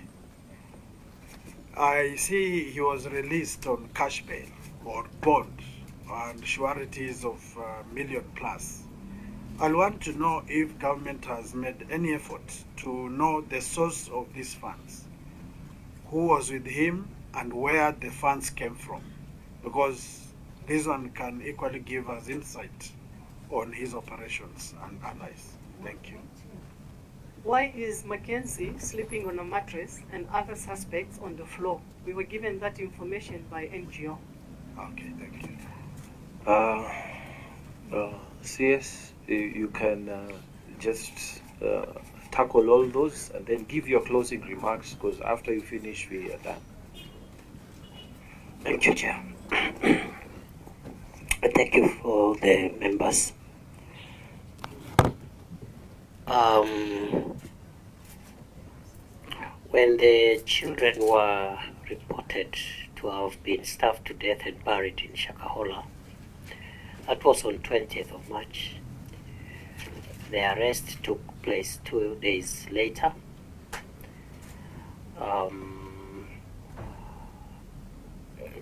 there could have been earlier reports to the police which were not acted on. And that is uh, part of the accountability mechanisms.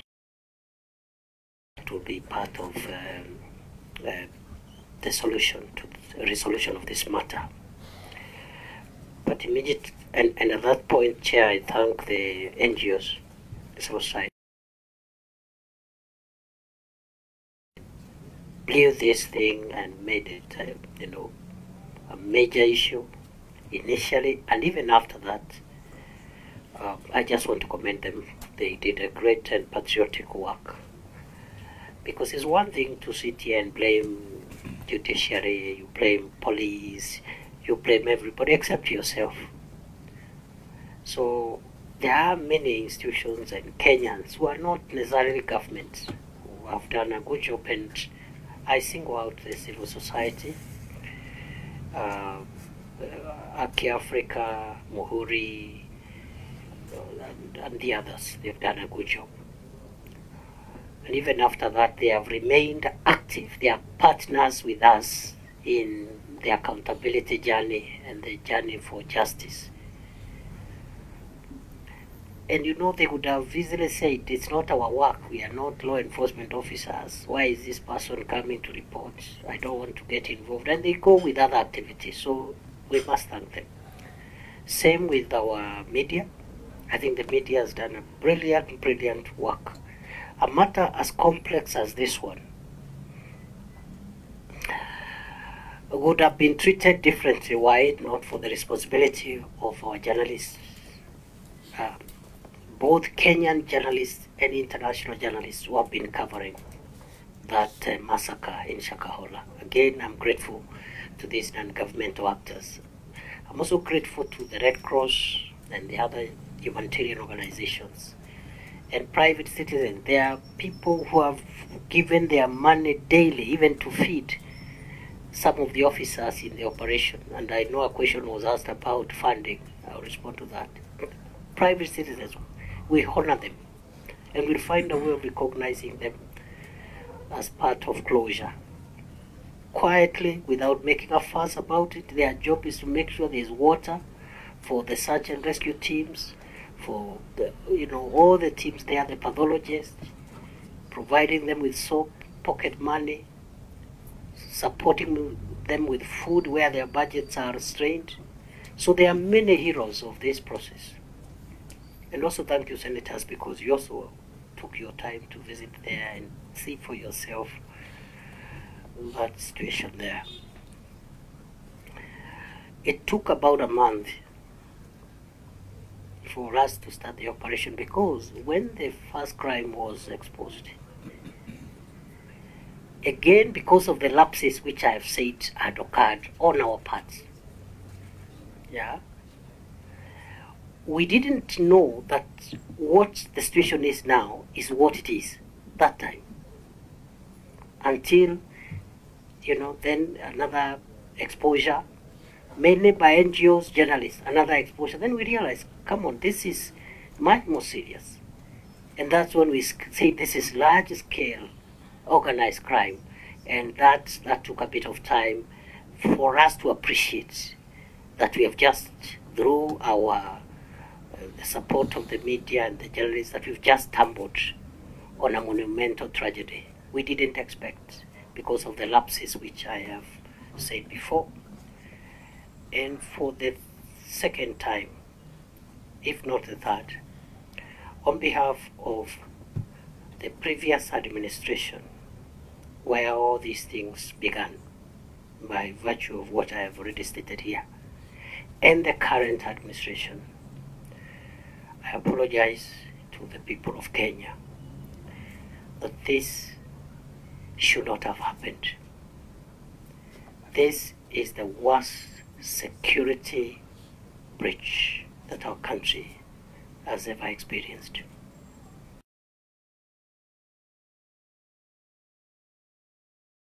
The ownership business, it, it's not even for from a criminal justice perspective, we are not bothered with that discussion. That is a different discussion of who owns the land and I don't want to preempt the prosecution case, but that should be the least of our worries. All we need to show is the suspect was in control of that space. That's all. Whether he had stolen it, whether he had uh, entered into an agreement with fraudsters,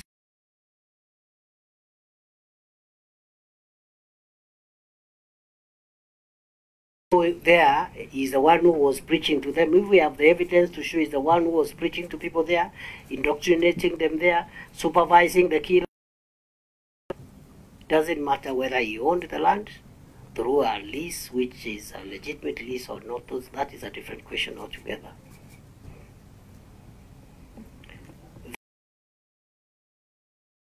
Mental health all those like me who have been in that space for, for a long time, for three months now, almost every week.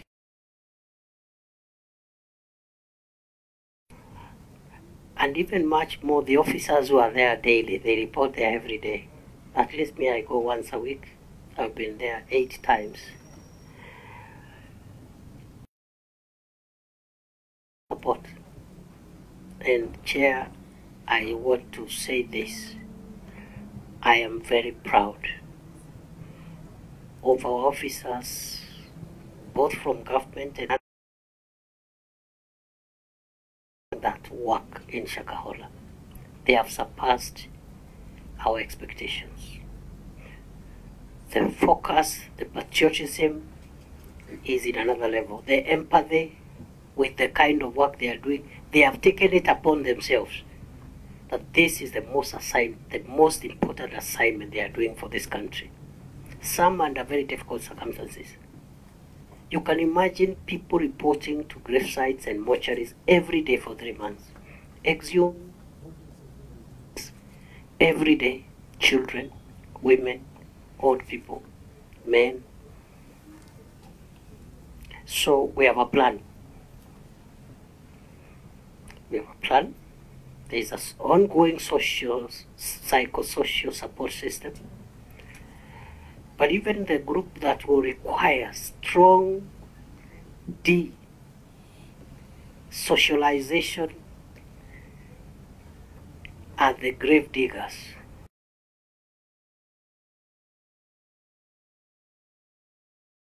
Job, a great job. But that trauma, if it's not managed, can even be a future security problem. Because every day they wake up to dig graves. So you don't know whether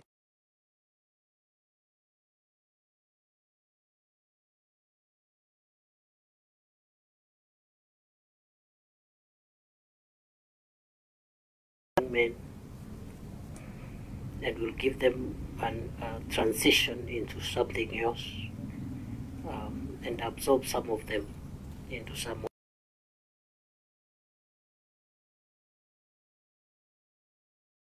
our systems and, and make sure that they we don't withdraw them from that activity and release them back to society in their state. So we have a psycho social, a psychosocial support system.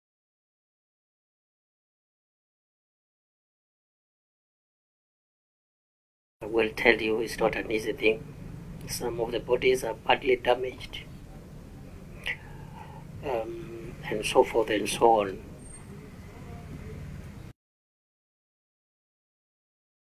Um, let me give this assurance, Chair. Let not the country worry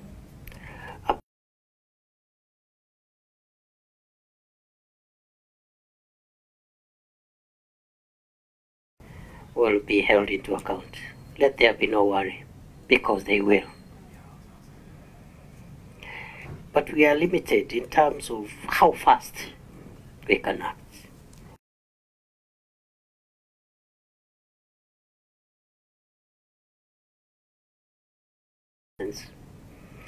Number two, we are limited by our own constitution, Article 47, on fair administrative action. You don't wake up and just interdict and whatever. Otherwise, they'll go to. Have achieved uh, another level of uh, freedom. They can't do anything. Um,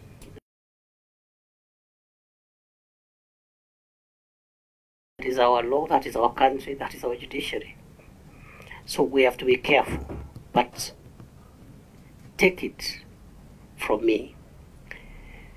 Every officer of whatever agency who has a role in this through action or inaction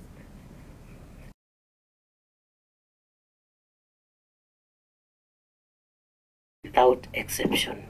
And we are not going to look for junior people to hold accountable.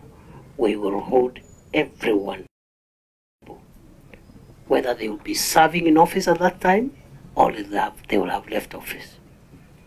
That is how we view this accountability journey. Yeah, aimlessly ends where my nose starts. That is the fundamental underlying philosophy to violate the rights of other people, like those who are mutilating our girls and cutting their body parts. And they say, oh, it's our culture. That's all. And they expose to, the, to them to grave health hazards for life. Then the third and final category is political extremism. Yes. Oh, we have political rights, we have democracy, we can do what we want, we have a freedom to assemble and demonstrate. It's true. Yeah, but don't don't just go to a meeting and and do your meeting and talk. And if you are a government, promote the policies of government in your meeting. If you're in the opposition, promote the opposition policies in the meeting. When the meeting is over, go home. Simple. The fact that you have a right to present a petition doesn't mean you have a right to ask uh, 50,000 people to storm a street or a town or, uh, you know, just close a road and people cannot uh, travel. And, and this is, uh, which constitution is that? These are the ingredients that erode our constitutional order. That's how you destroy a country. Slowly. Oh, I'm a preacher of the gospel, don't touch me. You're killing people. I'm a politician, I have a freedom to do whatever I want, let people demonstrate. And as early as 6 a.m., before even the meeting is called, is called, people are looting other people's shops, criminals who are taking advantage of your meeting anyway. So uh, that's where we are. Our challenge is to strike a balance between the need to respect all the freedoms that our country through the Constitution has offered, but also respect the limitations that ensure public order, public safety, public morality. And that's where we are coming from. So all extremists of all types will be treated the same way because they, what they are causing is the same thing. Mr. Mackenzie has, uh, through his activities, uh, killed uh, the hundreds uh, other extremists are causing deaths of uh, maybe a lesser number, but there are still deaths of the people of Kenya. It must stop. And I mean it, Mr. Chair, it must stop. Um, then there was the question of um,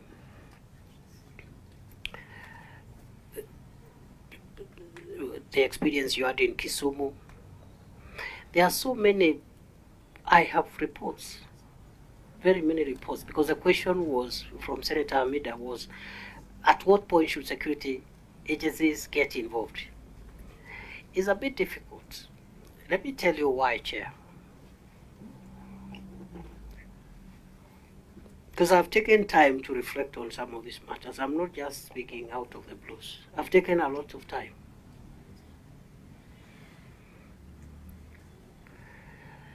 You know, public officials, including judges, members of parliament, and security officers, are also human beings. And they also worship. Some of them are members of some of the organizations that we think are criminal organizations. So that answers some of the questions you have. It's a much bigger problem than we are thinking.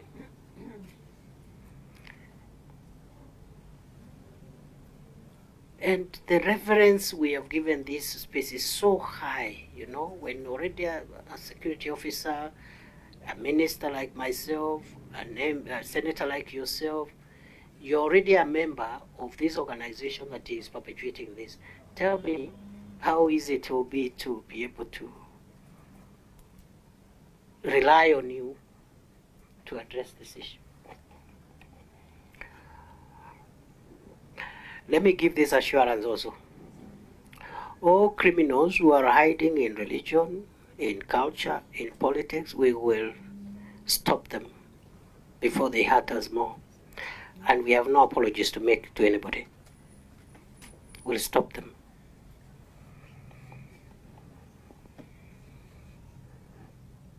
Including members of the judiciary. because they are also human beings. So any person involved in crime, doesn't matter, because your independence, your the space we have given you is not to commit crime. Will come for you. Um, the source of funds, we have made a lot of progress on that area. Allow me not to say a lot of progress, and I thank the senator for raising that issue. Was an important um, element of uh, successful prosecution and uh, uh, did he have a militia? Yes. All the evidence is pointing to the existence of a militia whose work was to supervise death are forced to continue with that process till the end. With tremendous respect, my distinguished professional senior Senator Faki, the Senator of Mombasa, is wrong to say that the he has this hypothesis that this is a conman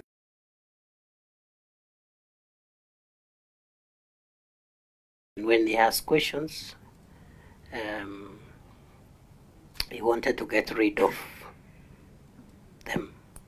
No. This is a criminal who in collaboration with his uh, supporters and those who assisted him commit this offense deliberately sat down and designed a well and carefully planned program to kill the people of Kenya using force and dangerous doctrine. Period. If it was the economic issues, he would have dealt with the people buying land, and mainly it is men who buy land. Then, when they disagree, he would kill the man. But to seduce a whole family to go and stay with him for months and kill the entire family. If it was a land transaction, he would have dealt with people who are speculation for land, and then it ends there. But the what we are having there is it actually is a, is a complete elimination of his followers. As a religious group, members of GNI were targeted for complete elimination in the entire uh, uh, setup, the entire family. So I disagree. However, notwithstanding that, we are not ruling out any possibility. Even that aspect, we have not ruled out that there could be land and economic issues involved in our investigations because it will be foolhardy to do so. With regard to the chairman's um, uh, proposal, the chairman of this committee, on uh, what the civil society has recommended. I don't want to venture there because of the controversies around suicide. And uh, I have my personal views, but I don't think it's, it's necessary at this stage to, to share them. But it's very a very controversial matter. It's not as easy as the civil society organizations want us to believe. Because within the human rights jurisprudence, what we have in human rights jurisprudence under international law and our constitution is the protection of the right to life. And in fact, it is that protection of the right to life that has led to the abolition of death penalty in Kenya and in other jurisdictions. That because of the sanctity, that the death penalty is an affront on the right to life. Because you're killing someone for whatever reason. They say It's an affront of the right to life. So the right to life, God gives life, takes life. That is uh, some of the jurisprudence that has been obtaining. But I know in some countries, and uh, this is now what I'm seeing creeping into our Kenyan jurisdiction, is the jurisprudence of the right to die, which has been there in European countries and other Western countries for the last 20 years.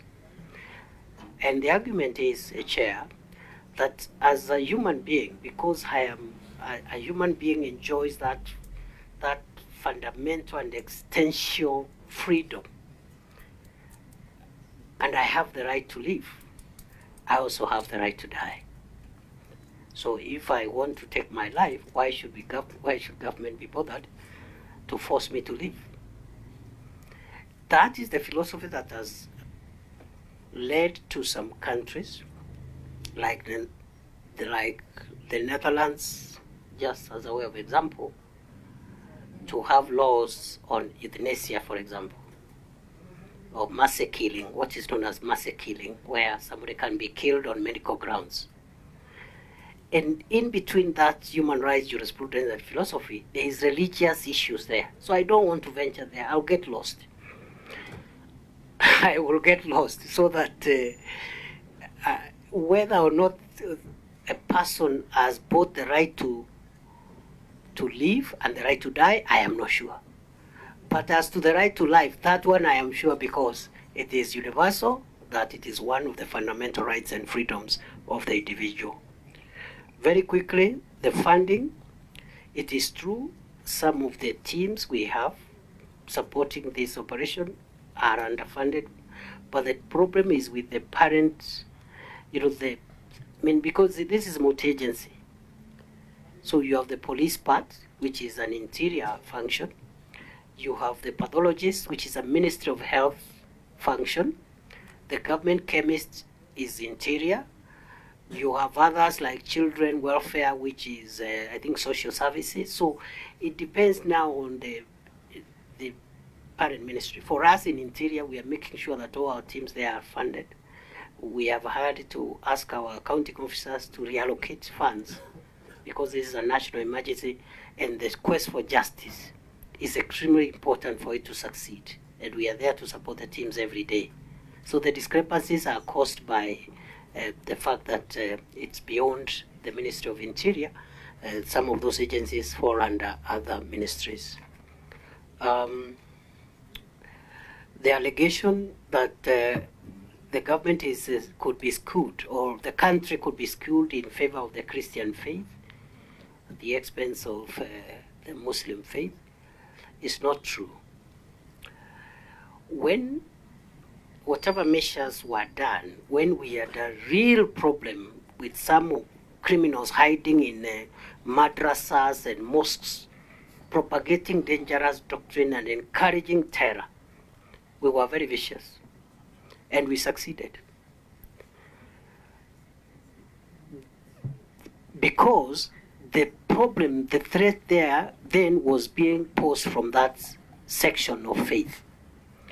Today, this threat has come from the Christian faith. So, that's why I've repeated many times this deliberate chair.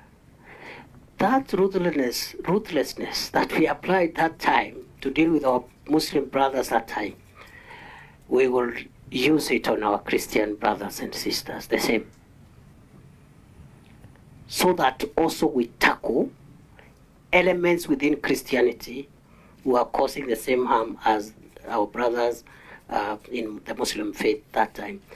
And I agree, we should also look also at other faiths and also persons of neutral faith.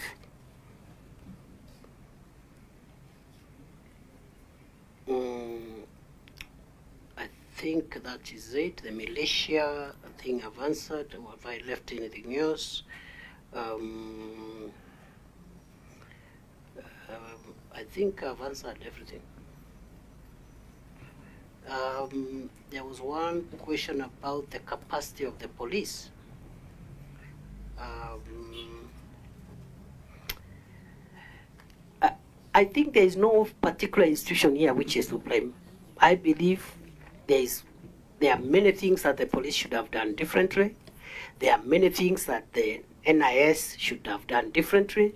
There are many things that the ODPP should have done differently, and there are many things that the judiciary should have done differently. So I think uh, for me that is the summary of everything. And we are guilty as government, and the society is also guilty because if our brothers and sisters, the clergy, do not, or rather are truthful among themselves, they will tell us they have not helped us to weed out bad people in their elements. Instead, they are applying a tactic which was applied somewhere in one of the scriptures, which I don't want to quote, where somebody was asked, Where is your brother? And he answered, I am not, it's not my business. That approach, "Ah, it's not my business. You know, because I've heard our religious people talk, and I have a lot of respect for religious leaders. Myself, I'm a son of uh, a clergy. So I mean business when I say this. I grew up as a child of a clergyman.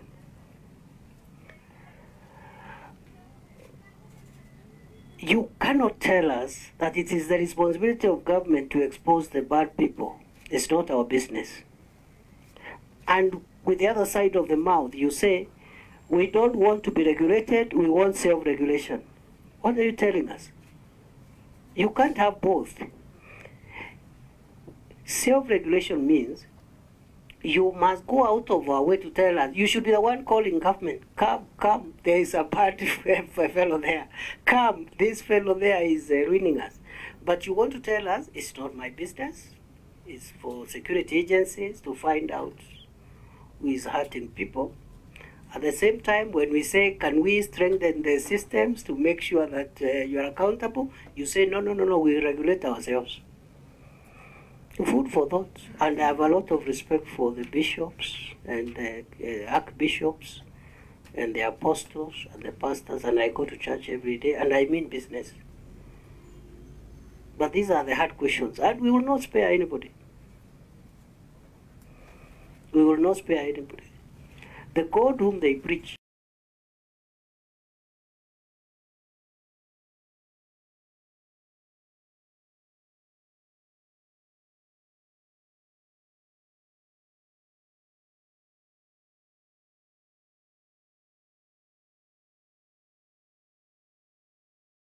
um, and I remain at the disposal of this committee, even in writing. If you want anything written, we'll prepare it. My closing remark is just to request that we do not bungle.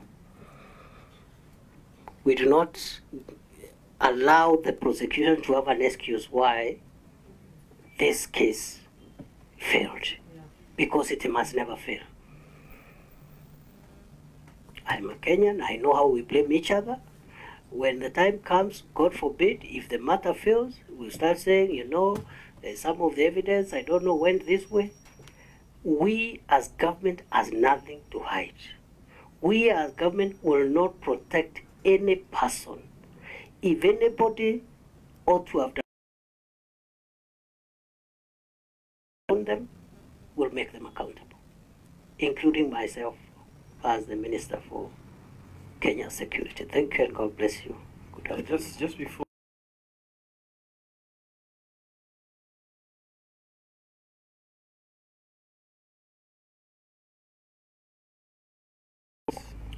We have so far united uh, 20 um, from those that we had arrested.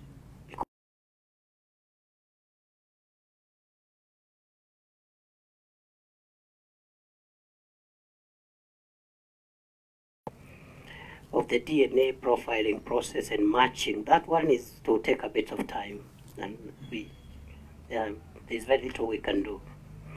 But the teams there are working very hard.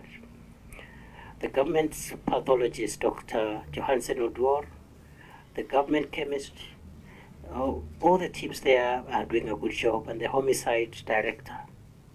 These are true heroes. I do not chair, just that, by the way, how come when, when, when are called to action, sometimes they perform so well. It just means even in the preventive side, if, if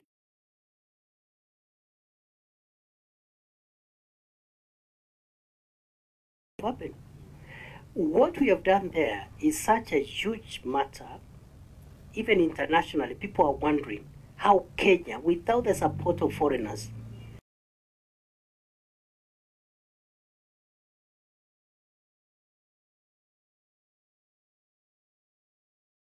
standards, using experts, their own experts. So we, we, we, will, we will delay that process because of the science involved. But there is also the reunification of the victims of Mr. Mackenzie's evil doctrine with their families. We may release some of them, but we must first stabilize them through the social, psychosocial process that I talked about. If you release them back in that nature, you can even lose them. As you're aware, even some who so again, that's that's a, we cannot. We have to handle them medically and make sure they can go back home. We have no intention of holding people's relatives for no reason. Then there is also some of them whom uh, who, has, who have given us uh, very good evidence, but the, their state of mind is improving, and every time we interview them, they are even clearer in their minds, and they are very hostile to what happened to them. So we will hold them for a while before we release them to stabilize them, to give us information, and we will not punish. We will not punish. Uh, some of the things are secondary. If somebody was rescued, let me put it this, this way, without preempting the decision of the Director of Public Prosecutions, because I have no uh, power to do so. These are my personal views. If somebody was arrested because he was a victim of this crook, and they have abandoned, or rather, they have stopped uh, processing the suicide mission. They have stopped their journey to suicide. They are giving police useful information. What else? You know, the most important thing will be to help them stabilize medi- medically and return them home. If you ask me, we will will be releasing people to their families in the soonest time possible. We will not punish innocent people, and we will not.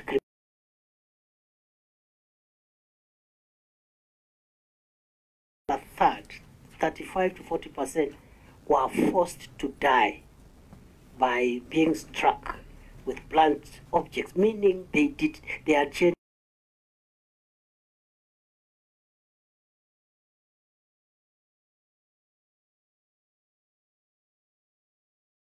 God bless. Thank you very much, uh, uh, Cabinet Secretary. We are grateful for all the insights you've given us. Uh, this committee continues to receive reports and uh,